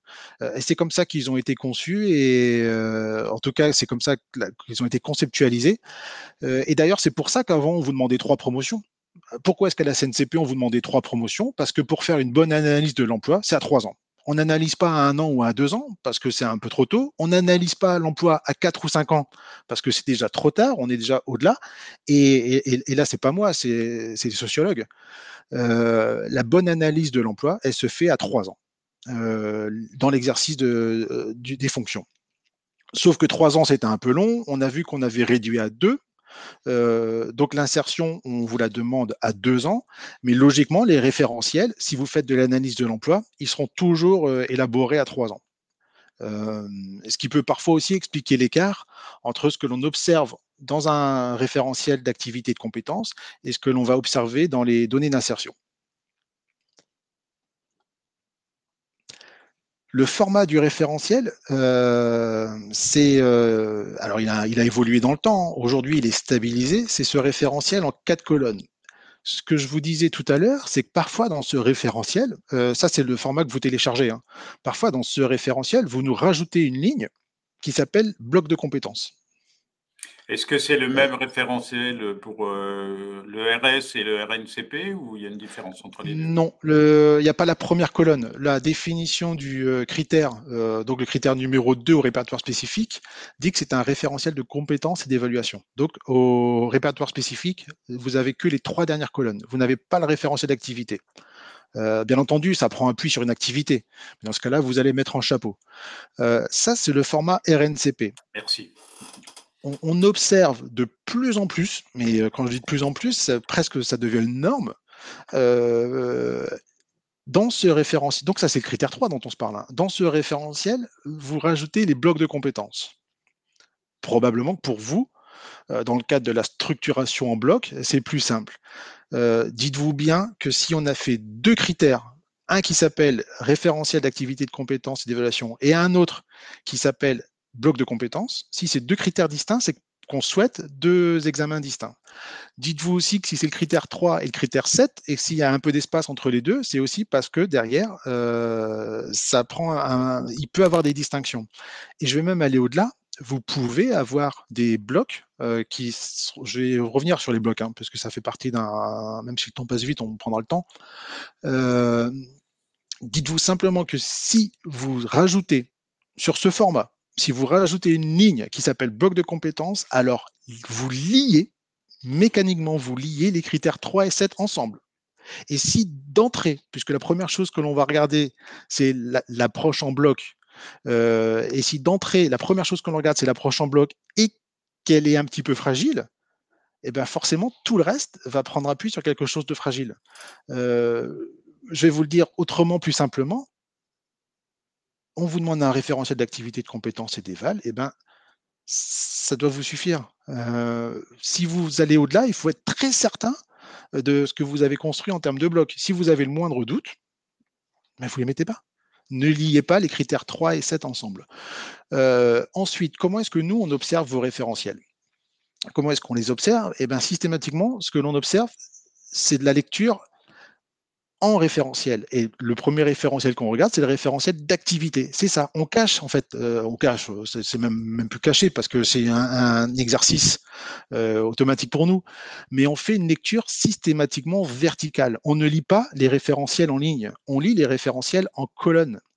Et le référentiel d'activité, s'il a été bien conçu, il est autonome. J'ai pas besoin du reste je prends le référentiel d'activité et si à la seule lecture du référentiel d'activité, je comprends le métier et je perçois déjà le niveau euh, par rapport au descripteur, hein, alors vous pouvez vous dire c'est bon, j'ai les fondations, j'ai fait une dalle qui est très certaine.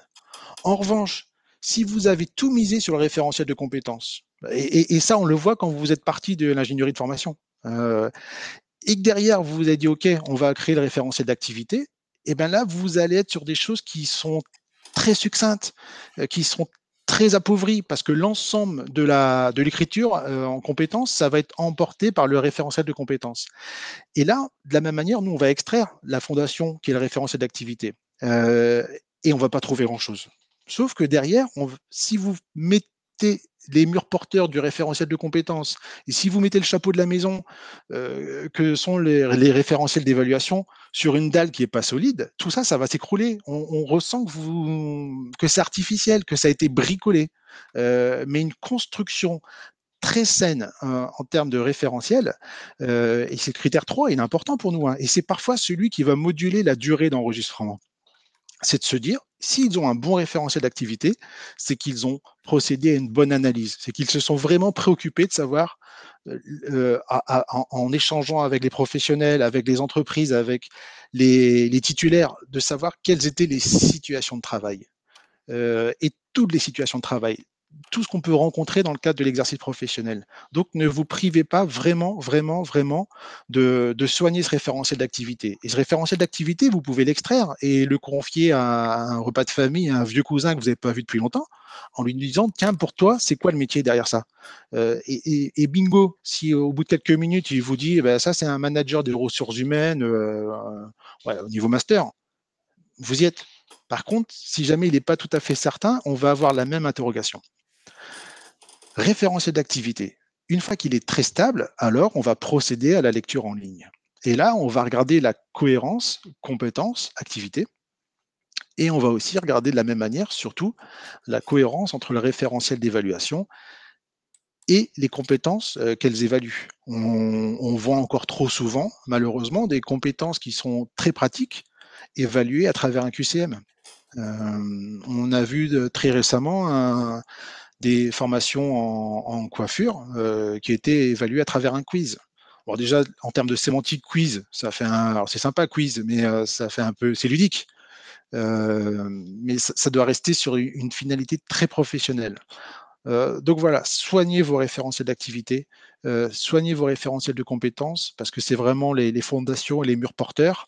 et, c'est à partir, de, si on est très à l'aise sur activité compétences, on pourra, nous, avoir une plus grande tolérance sur les fragilités d'un référentiel d'évaluation. Euh, notamment sur les critères, hein, qui sont peut-être l'exercice le plus difficile euh, que de définir des, critères au, sens où on l'entend. Euh, mais, mais, en règle générale, et ça se traduit comme ça hein, dans les décisions de la commission, si on, ressent bien l'analyse de l'emploi qui a été faite, si on ressent bien le soin apporté à l'écriture en compétences, et si on a des modalités qui sont très professionnelles et qui sont cohérentes avec les compétences observées, les, critères, c'est plutôt l'outil qui va servir à guider le jury. Mais ce n'est pas ça qui sera déterminant pour apprécier ce, critère 3. Euh, donc voilà, vous avez une proposition de rédaction. C'est une proposition. En général, on attend quand même un minima sur l'écriture en compétences, euh, le verbe d'action, le, quoi et, la finalité. Euh, mais vous, voilà, c'est parfois la, difficulté de l'écriture en, compétences. Le tout, c'est que ça soit un sujet d'équilibre. Euh, ça veut dire quoi un sujet d'équilibre? C'est-à-dire qu'il y a bien une distinction entre les activités et les compétences, euh, qu'on ne descende pas au niveau de la tâche, et puis surtout que le soin rédactionnel, il soit diffusé dans tout le référentiel. Euh, parfois, on a les deux premières pages qui sont très bien investies, et puis on voit que ben, le rédacteur, au bout d'un moment, un peu usé par l'effort, il, a moins soigné le, reste du référentiel. Non, euh, le soin doit être constant, l'écriture doit être très stable, parce que si c'est le cas, ça peut déjà être là aussi un, motif euh, qui va nuancer la, bonne appréciation et, la bonne cotation du critère sur les référentiels. Pour les modalités d'évaluation, euh, je vous l'ai dit, hein, il faut qu'elles euh, soient le plus proche possible de l'action et de la situation de travail. Alors bien entendu, il y a des choses qui sont évaluées à travers des questionnaires. il y a des bons questionnaires hein, qui, sont tout à fait performants en termes d'évaluation. Et puis il y a des choses qui sont liées à la sécurité parfois, et on ne va pas mettre un apprenti en situation, si on ne s'est pas assuré en amont qu'il connaissait bien toutes les règles d'engagement et de sécurité, que ce soit de la sécurité physique, de la sécurité alimentaire, qu'importe. Hein. Euh, mais derrière, ce qu'on vous encourage, euh, c'est vraiment à aller euh, le plus loin possible dans la, dans la proximité avec la situation de travail. Et c'est pour ça que je vous disais, ne vous privez pas de mettre une dimension prospective. Si aujourd'hui, effectivement, c'est réalisé en salle, mais si vous envisagez dans les prochains mois ou dans les prochaines années d'investir, vous pouvez déjà mettre ces visions prospectives et, et que ça se traduise ainsi dans les référentiels. L'évaluation, donc je vous l'ai dit, hein, on s'approche le plus proche possible de la situation de travail et il faut aussi que ça soit cohérent avec le, niveau attendu. Euh, ce qu'on vous demande dans les référentiels, c'est les grands principes de l'évaluation. On ne va pas vous demander, dans un référentiel que l'on va publier, d'aller trop loin dans la définition. Ce n'est pas le cahier des charges euh, que vous devez mettre dans la colonne modalité. Euh, vous ne devez pas euh, déjà indiquer que le rapport devra faire 40 pages et qu'il sera et que la séance durera deux heures. Parce que si vous le, vous pouvez le faire, hein, mais sauf que si vous le faites, c'est vous le gravez dans le marbre. C'est-à-dire que vous allez devoir pratiquer un rapport de 40 pages en deux heures. Et, si jamais vous avez un remords au bout de quelques mois, en vous disant mince, finalement, 40 pages c'est beaucoup trop ou deux heures c'est pas assez, euh, eh ben, vous allez revenir vers nous en nous disant est-ce que je peux changer ma modalité? Euh, et, comme c'est un élément de décision de la commission, on vous dira non. Donc là, deux scénarios. Ben, soit vous continuez avec une modalité d'évaluation qui n'est pas très confortable pour vous et vous n'êtes pas très à l'aise, soit vous prenez la liberté de modifier cette modalité et, d'avoir une initiative locale qui ferait que vous vous éloignez du référentiel publié. Sauf que là, c'est une prise de risque. C'est-à-dire que si jamais il y a un, candidat euh, qui estime ne pas avoir été euh, euh, évalué dans les conditions d'un référentiel, il peut vous l'opposer. Et je peux vous assurer qu'il ne se prive pas à nous adresser tous ces types de signalements pour nous dire telle école, ils ont publié ça sur votre site. sauf que moi, en pratique, ils nous apportent des preuves. Hein. C'est pas comme ça que ça, ça se passe. Euh, j'ai pas eu les, j'ai pas eu le, le, jury tel qu'il est défini. Euh, j'ai pas eu la modalité telle qu'elle est décrite. J'ai pas eu la durée et ainsi de suite. Euh, et forcément, ben nous, ça, ça, ça vient dans le, sur des choses que l'on observe à l'occasion d'un renouvellement ou même que l'on observe à l'occasion d'un contrôle en, en cours d'enregistrement. Donc voilà, soyez très à l'aise aussi avec vos référentiels et vous serez très à l'aise si vous avez vraiment pratiqué. Si vous l'avez vraiment fait tourner, comme l'a rappelé Michel, si vous avez vraiment fait tourner pendant plusieurs mois ou plusieurs années la formation, quand vous nous l'envoyez, vous êtes très à l'aise parce que vous avez, c'est comme en cuisine, vous savez que c'est le bon format. C'est les bons ingrédients, c'est le bon temps de cuisson, c'est la bonne recette, c'est le bon process. Euh, et ben quand vous nous le livrez, vous êtes très à l'aise en disant ça reviendra pas. Euh, je sais qu'ils vont être satisfaits on n'a pas besoin d'attendre euh, d'avoir une certification enregistrée au répertoire euh, RNCP ou ORS pour créer sa certification. C'est l'inverse. Il faut d'abord créer sa certification et quand elle existe, on va la présenter pour la faire reconnaître comme ayant de la valeur sur le marché du travail. Voilà. Hein. Et je crois que j'ai entendu ça souvent, mais ah bon, je peux créer ma certification avant d'aller voir France Compétences? Ben oui, ça commence comme ça, ah j'ai envie de dire. Hein. Simplement, ça ne sera pas une formation certifiante au, au, sens du code du travail et, et tant qu'elle n'est pas enregistrée, elle ne pourra pas mobiliser euh, oui. notamment les, les, fonds mutualisés. Mais, voilà. euh, mais sinon, bien entendu, il faut, euh, il faut l'envie. C'est pour ça que ça, ça s'inscrit dans le temps long, tout ce qu'on est en train de se dire. Hein. Ça s'inscrit dans le temps long et, et, et c'est pour ça que c'est pas quelque chose de simple. Je vous l'ai dit tout à l'heure, hein, la certification, c'est extrêmement complexe. Euh, c'est extrêmement complexe et, euh, et puis quand on le pratique une fois tous les cinq ans, à l'occasion d'un renouvellement, ça se voit. Euh, on voit la différence entre l'organisme qui est habilité, habitué pardon, euh, à pratiquer beaucoup de dossiers, beaucoup de certifications, et, puis on voit l'organisme qui le fait qui, qui s'en saisit à l'occasion d'un renouvellement. Parfois, il s'en saisit déjà trop tard, donc il va être pris par le temps, euh, il va moins investir le dossier, il va moins investir les enquêtes, et finalement, en ayant voulu gagner du temps euh, pour se précipiter, ben, il va en perdre, euh, parce que ça va faire l'objet d'un refus. Et alors que s'il avait pris un peu plus de temps pour bien soigner la copie, pour bien s'interroger, parce que c'est un investissement, euh, et, bien en règle générale, c'est ce qui fait que souvent l'enregistrement il est euh, dans nos taux de transformation, hein, dans les avis favorables, c'est souvent sur un deuxième dossier. C'est souvent sur un deuxième dossier. Euh, sauf qu'entre deux, ben, le chrono tourne quoi. Donc soyez très à l'aise encore une fois avec les, projets que vous nous déposez. Euh, et, j'en profite ici. Euh, alors je sais qu'il y a un peu de monde, euh, donc mais n'hésitez pas, alors à l'échelle d'un réseau, à l'échelle d'un catalogue de formation, mais n'hésitez pas à, solliciter un petit temps d'échange. Alors ça sera pas une heure, euh, ça peut être 15 minutes, 20 minutes. Je préfère que l'on échange ensemble avant, euh, de manière un peu informelle sur vos projets, euh, plutôt que l'on échange après, 6 ou 7 mois après, pour vous expliquer pourquoi c'est pas passé. Euh, donc encore une fois, à l'échelle d'un réseau, à l'échelle d'un regroupement, à l'échelle d'un catalogue de formation peut-être. Hein. Euh, mais, euh, mais voilà, ce sont des choses que l'on peut envisager. On peut avoir ce temps d'échange. Oui, alors il y avait une question justement aussi sur le temps d'échange. On a du mal, on n'a pas de temps d'échange avant avec l'instructeur ou l'instructrice, avant, avant le passage en commission. Non, sauf si. Euh, alors ça, c'est ce qu'on faisait à la CNCP, on accompagnait. Euh, Aujourd'hui, on ne le fait plus, hein, c'est plus dans la mission de, de l'évaluateur qui est France Compétences. On peut le faire dans le cadre de l'instruction si jamais il y a quelque chose de, pour, qui est facilement régularisable ou pour lequel on a un doute. Euh, C'est-à-dire qu'on peut avoir deux éléments qui ne disent pas tout à fait la même chose, on va être absolument certain. Euh, sinon, ça peut se faire aussi à l'occasion d'un ajournement. Parfois, la commission euh, propose un, Elle ne tranche pas, elle dit qu'elle veut revoir le dossier, euh, éclairer sur un critère, et auquel cas on échange avec vous dans le cadre d'un ajournement. Euh, en revanche, il y a de nombreux critères qui sont concernés, ou alors si un simple ajournement ne peut pas suffire à, représenter le dossier dans des délais, parce que l'ajournement, ça se fait sur un mois en général. Hein.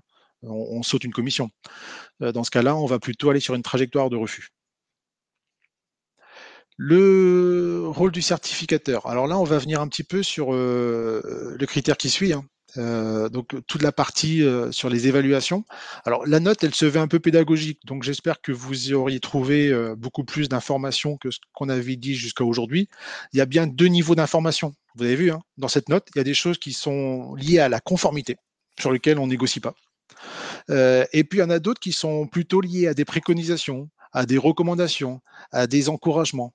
en tout cas, je vous ai parlé jusqu'ici d'exercices de, transparence. Soyez transparent dans vos données d'insertion, soyez transparent euh, et même un peu visionnaire dans vos référentiels. Et ben là, on est dans l'engagement. Et c'est ça un exercice de certification professionnelle. C'est un exercice de transparence et d'engagement. Et là, vous, euh, vous allez décrire à, travers un support dédié, un ou plusieurs supports dédiés. Euh, parfois, il y a un support à l'échelle du certificateur et puis un échelle, à minima, il faut un support à l'échelle de la certification. Euh, ben, de quelle manière est-ce que vous vous envisagez d'avoir un processus d'évaluation qui soit très stable?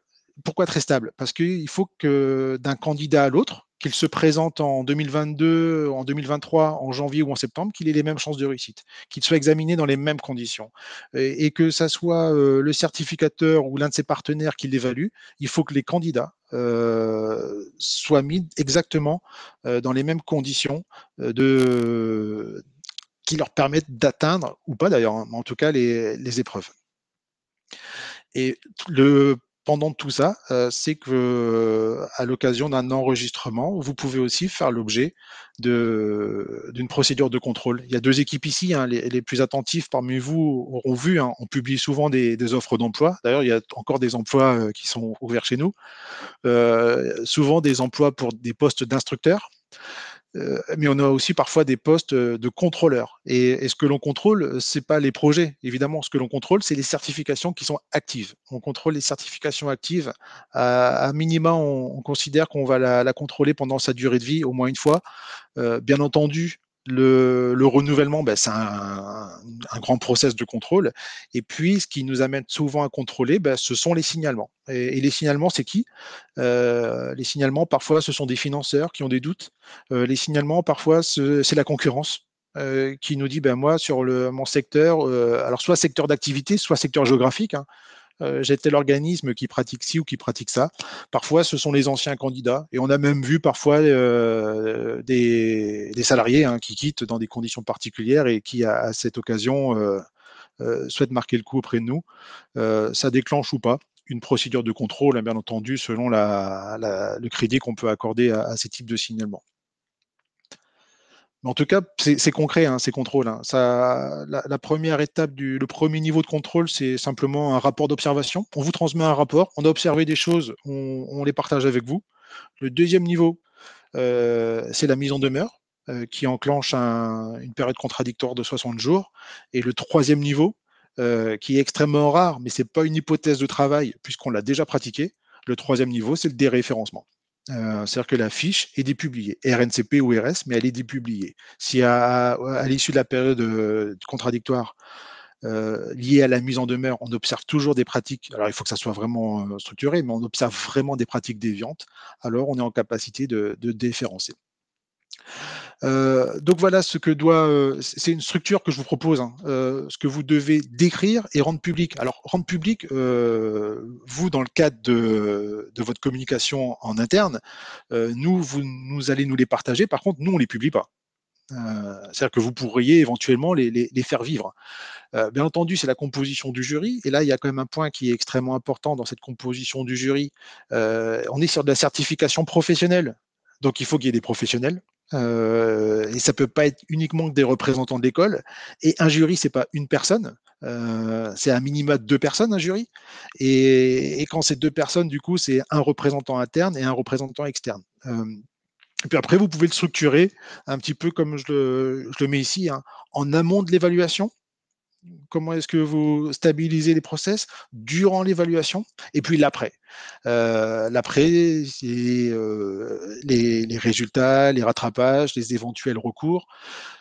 Euh, un petit focus qui est vraiment pas inutile parce que c'est un petit peu peut-être perdu de vue et c'est important pour nous. Si vous mettez en place les évaluations pour tout ou partie en distanciel, Euh, et, vous pouvez tout à fait le faire. La stratégie pédagogique, elle vous appartient et la stratégie d'évaluation vous appartient.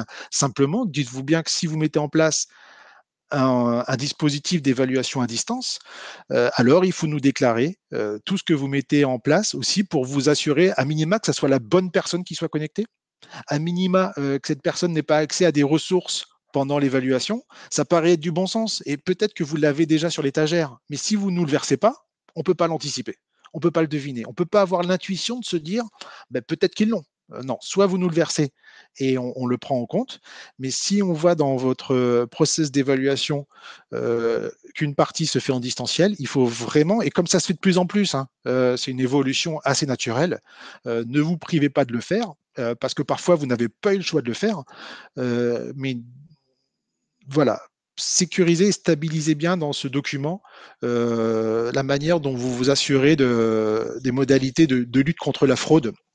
Et si d'ailleurs, j'en profite, petite parenthèse, si pendant la période 2020, euh, vous avez fait des PV et des jurys qui se sont réunis à distance parce que le confinement faisait qu'ils ne pouvaient pas faire autrement et que vous, vous étiez sur une formation que vous avez, et tant mieux, euh, pu dérouler jusqu'à son terme, mettez une indication dans les PV de jury simplement que ça a été un jury qui s'est réuni à distance. On va mieux. Vaut mieux faire ça euh, plutôt que d'essayer de régénérer le PV a posteriori en faisant des captures d'écran avec des signatures que vous allez coller. Et, finalement, tous les PV, sauf à ce que le signateur soit d'une redoutable stabilité quand il signe, mais sinon tous les PV sont les mêmes. Euh, et on voit que vous avez artificiellement reconstitué les PV après. Non, laissez-nous les PV comme ils sont, rajoutez-nous une petite pièce pour dire effectivement les PV, bah, il y a eu un échange par mail ou ça a été des transferts de documents. Mettez-nous ces preuves, mais surtout ne retouchez pas les PV après coup. Voilà. Le, référentiel d'évaluation, bien entendu, euh, si vous le faites bien, bah, il va vous être utile. C'est pas pour faire plaisir à France Compétences, c'est pour vos propres jurys.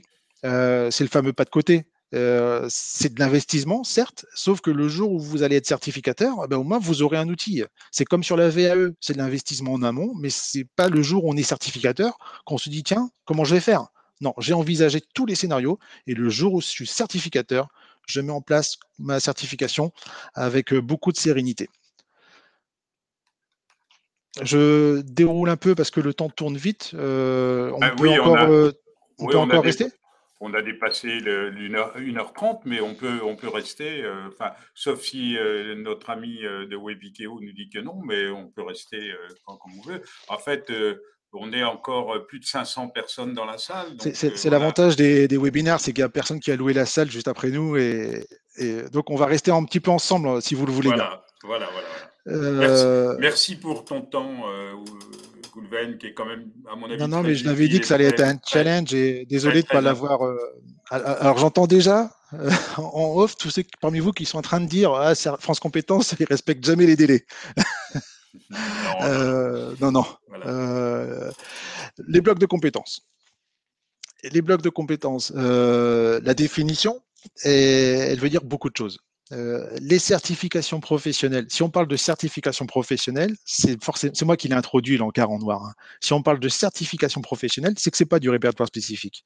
Dites-vous bien qu'il y a un truc technique chez nous. Euh, un dossier de répertoire spécifique, il y a une étape de l'instruction où on fait des contrôles F. On fait des contrôles F qui s'appellent bloc de compétences. On fait des contrôles, enfin bloc même. On fait des contrôles F, VAE.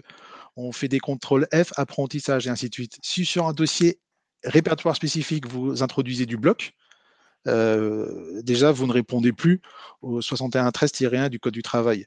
Euh, donc voilà, si on parle de certification professionnelle, c'est du RNCP. Sont constitués de blocs de compétences, sont notamment constitués et obligatoirement constitués de blocs de compétences au pluriel. Il y a plusieurs blocs et dans chaque bloc, il y a plusieurs compétences. Ça paraît très simple quand on, se le dit comme ça euh, cet après-midi ensemble, mais je peux vous assurer que tous les mois, je vois des dossiers euh, où j'ai un bloc. Euh, et ou alors dans le bloc, j'ai une compétence ce sont des ensembles homogènes et cohérents et qui contribuent à l'exercice euh, d'une activité professionnelle, c'est-à-dire qu'il y a une notion d'autonomie. Le bloc, il est autonome. Si je prends la seule lecture de l'intitulé du bloc, je dois déjà percevoir, c'est un petit peu le même objet que le répertoire spécifique, finalement, le bloc. Il y a beaucoup de comparaisons entre le bloc et le RS, hein. euh, jusqu'au financement d'ailleurs. On peut financer du CPF sur des blocs. Hein. Hum, c'est-à-dire que dans sa modalité d'évaluation, il est autonome. Je n'ai pas une modalité d'évaluation transverse. Parce que si, en fait, le bloc, quasiment, on le prend à l'envers, nous. On, va regarder la modalité d'évaluation. Et si on voit que vous avez mis une, modalité d'évaluation qui couvre plusieurs blocs, voire qui couvre toute la certification, on sait qu'il ne sera pas opérant. On ne va pas enregistrer un bloc euh, qui ne produirait aucun effet ou que vous ne pourriez pas concrètement mettre en place. Parce que, ou alors, si vous le faites, c'est que vous ne respectez plus la modalité d'évaluation. Euh, et ensuite, ça veut dire quoi tout ça? Ça veut dire que la certification, soit c'est la somme des blocs, donc la certification égale les cinq blocs, mais la certification, ça peut être égal les cinq blocs plus une épreuve qui couvre l'ensemble. Euh, et là, on va mettre les candidats en situation et on va pouvoir, à cette occasion, notamment voir tout ce qui est un peu comportemental. Euh, donc voilà, dites-vous bien que la, stratégie euh, en bloc, elle structure vraiment la certification et j'introduis aussi une petite mention sur les blocs optionnels. Euh, on n'en voit plus des titres à options. Vous savez, des spécialités. C'est-à-dire qu'il y a eu une période où on voyait beaucoup de titres à options et aujourd'hui on n'en voit plus. C'est-à-dire que quand vous, quand vous splittez, quand vous découpez une certification pour la mettre au plus près de la formation certifiante, euh, ben, vous allez créer euh, cinq certifications à cette occasion. Alors ça peut s'entendre si c'est cohérent, mais ça peut être aussi parfois simplement de restructurer avec des parcours à options. Vous avez peut-être, euh, si c'est une formation, je, vais ramener les blocs du coup aux, unités d'enseignement, à la modularisation. Si vous avez une formation sur trois ans et que les deux premières années euh, sont le tronc commun et que la troisième année euh, sont le ou les options, euh, eh ben, ça peut se présenter dans une seule certification avec des options. Alors, il ne faut pas qu'il y ait 15 options parce que ça deviendrait illisible. Il y a quelques conditions. Il y en a deux des conditions en fait pour jouer les blocs optionnels. La première condition, euh, c'est que le poids des options soit pas plus lourd que le tronc commun il ne faut pas que le poids des options soit plus lourd que le tronc commun. Il faut qu'il y ait plus de blocs et plus lourd en termes de compétences dans le tronc commun, ce qui réunit l'ensemble des, titulaires et ce qui va leur permettre une mobilité plus facile peut-être dans le futur. Donc, première chose, il faut que le poids du tronc commun soit plus lourd que les options. Et puis la seconde chose, c'est qu'il y ait au moins une alternative, c'est qu'il y ait au moins deux options. Et une fois qu'on s'est dit ça, vous pouvez bien entendu jouer la carte des, euh, des blocs optionnels. Mais je pense pour le coup que c'est la note euh, qu'on a dédiée au, au, bloc de compétences qui n'est pas suffisamment lisible à ce sujet. Euh, c'est pour ça que je vous ai dit hein, qu'on allait très rapidement vous proposer une note sur les blocs qui sera beaucoup plus pédagogique. Euh, mais voilà, ça peut être une stratégie pour vous. Et c'est ce qui va aussi peut-être vous permettre de vous démarquer dans le cadre d'un partenariat, d'une co-certification. Le jour où vous allez faire votre propre vie et que vous allez vous décrocher, vous allez apporter une plus-value. Parce que si c'est pour faire exactement le même référentiel, euh, on pourrait dire quel est l'intérêt de, faire une certification qui est exactement la même que celle dont ils se séparent. À cette occasion, ça peut être d'entrer à travers euh, ces logiques de, blocs optionnels.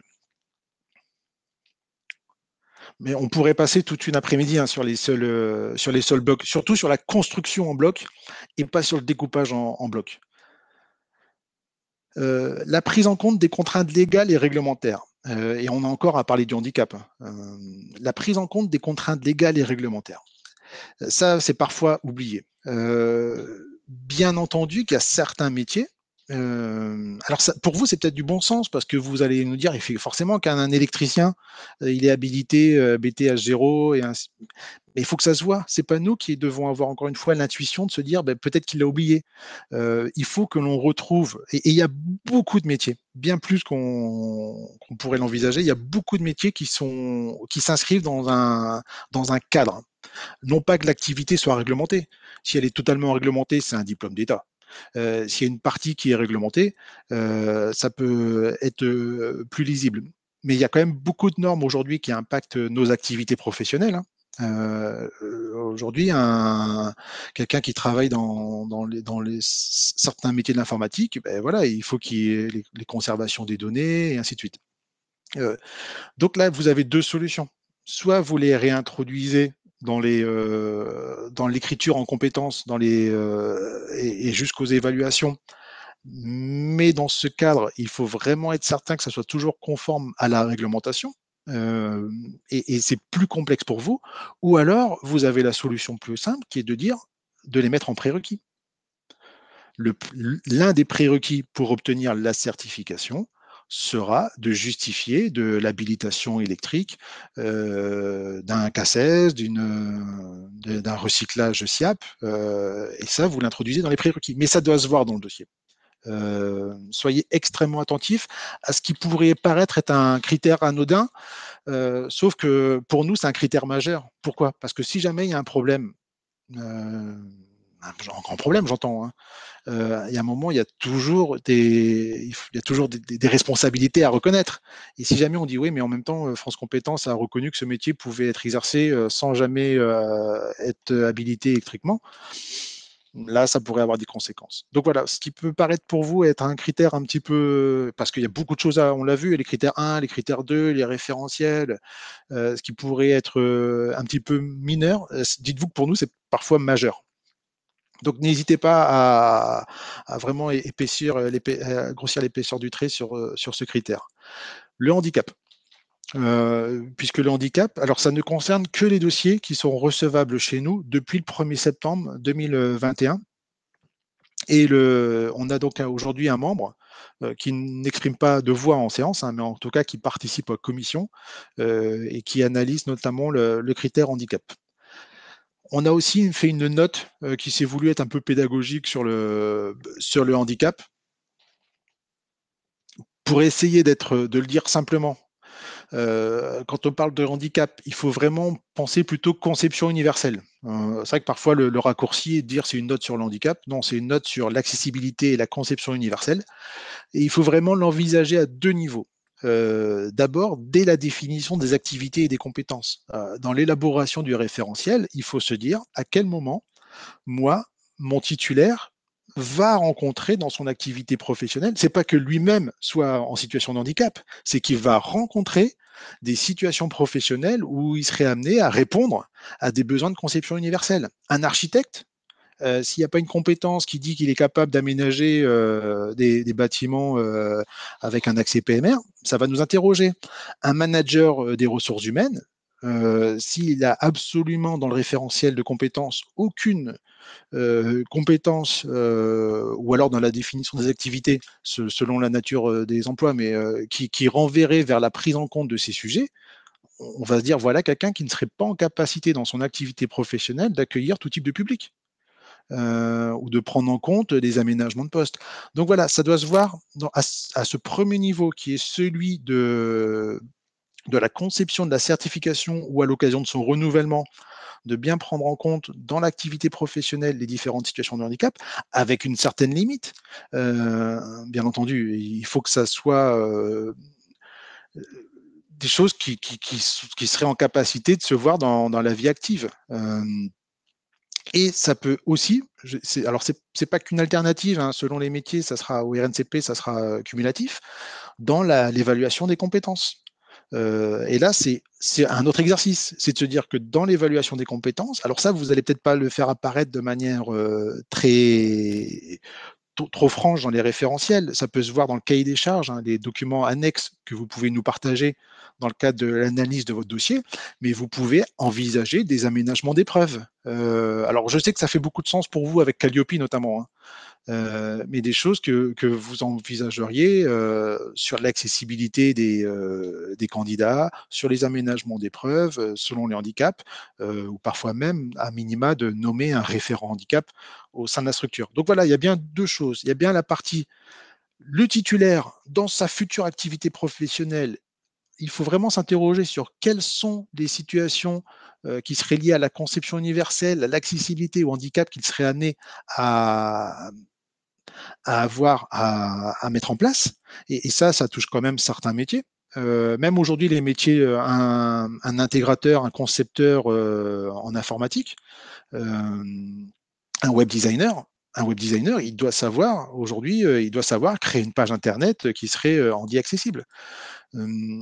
Et donc ça, c'est la première chose. Et la seconde chose, c'est pour les candidats, vos candidats, ceux qui passent dans vos murs, pas comment ils se pro pas ce qu'ils verraient eux dans leur, euh, dans leur métier futur, mais ce que si jamais vous deviez accueillir des candidats en situation de handicap, de quelle manière est-ce que vous avez envisagé euh, éventuellement pour eux des aménagements d'épreuves?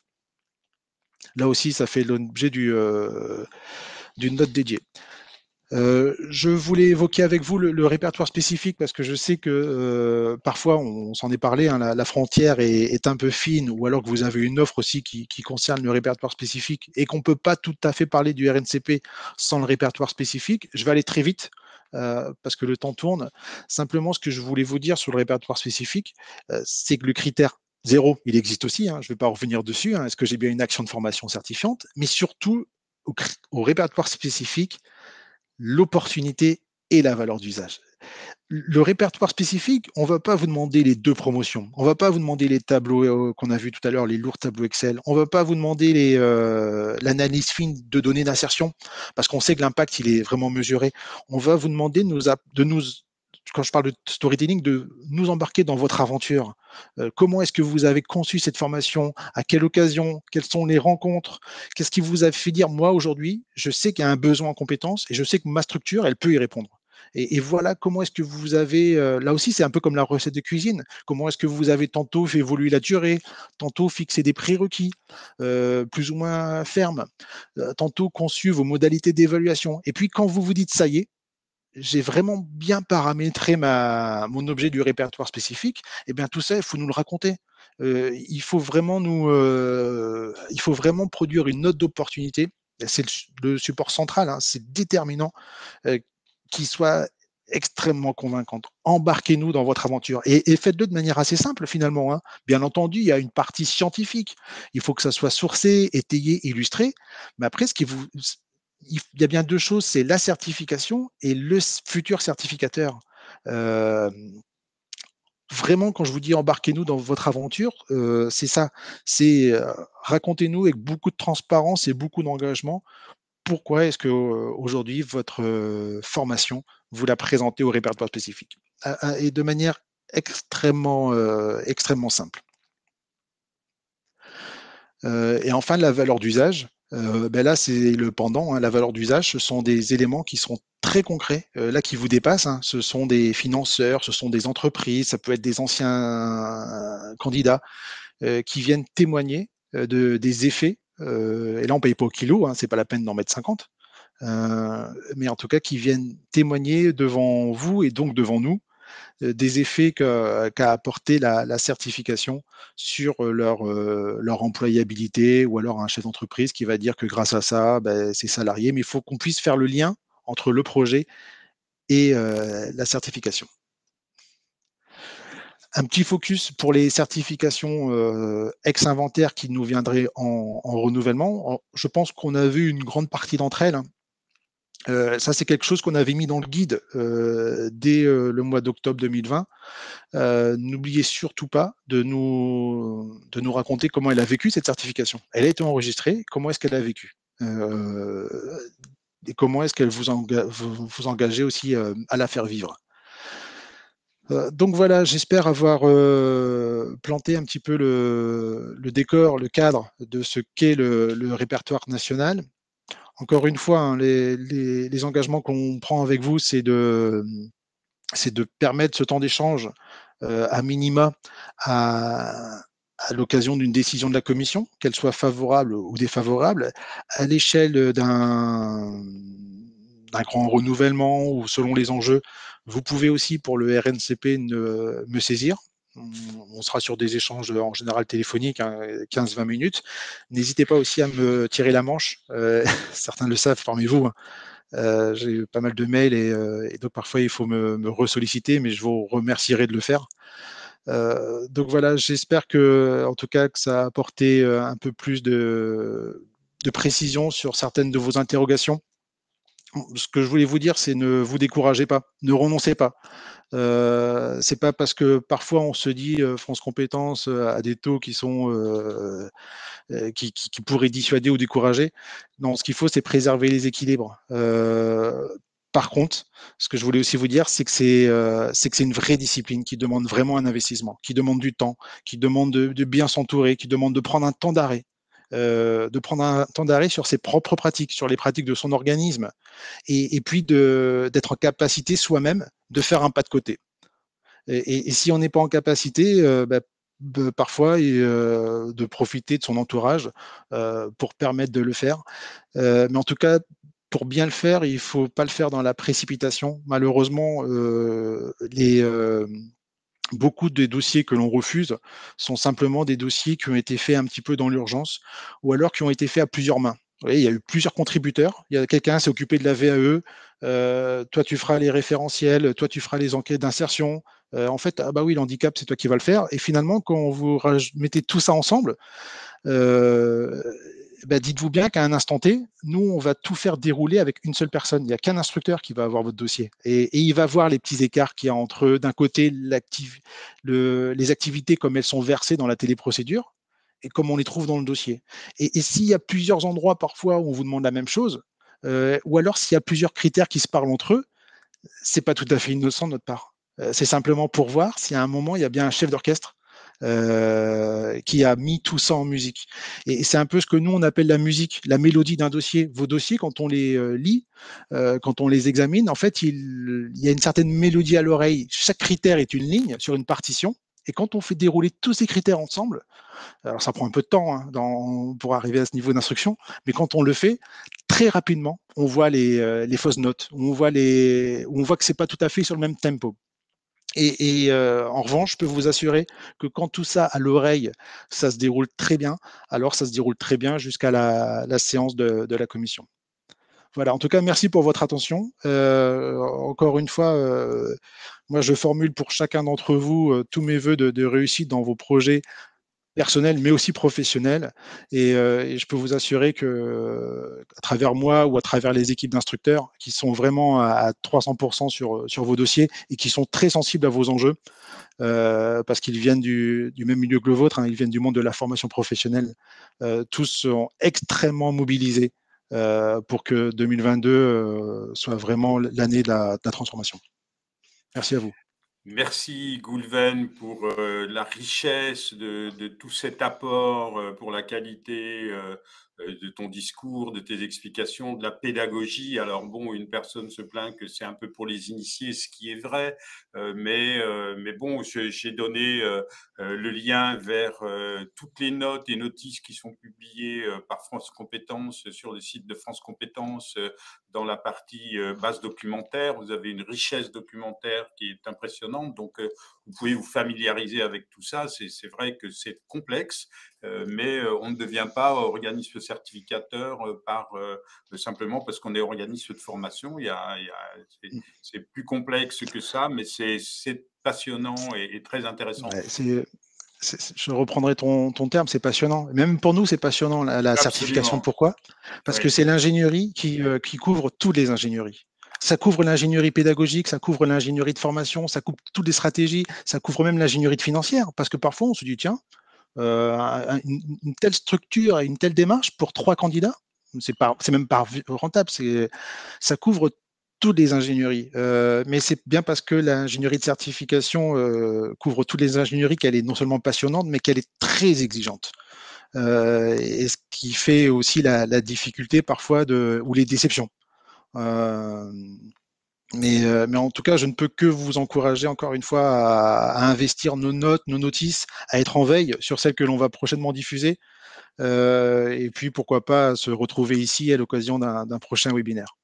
Merci Goulven. Euh, rendez-vous la semaine prochaine avec Elodie euh, C, qui est Elodie euh, Cavigioli, qui est dans la salle, donc qui a répondu très bien à plusieurs questions. Donc on se retrouve avec Elodie la semaine prochaine à la même heure, c'est-à-dire jeudi 27 à 14h30 pour prolonger ce webinaire. Et Goulven essaiera de répondre à des questions pour les transmettre, hein, comme ça. ce sera fait. voilà, ce sera fait. Merci à vous, merci encore, et puis merci de votre fidélité, merci euh, Goulven, aussi à ta fidélité. Et puis, euh, merci à France Compétences, à toutes les équipes de France Compétences, à Michael Charbit et tout le monde. À très bientôt. Merci.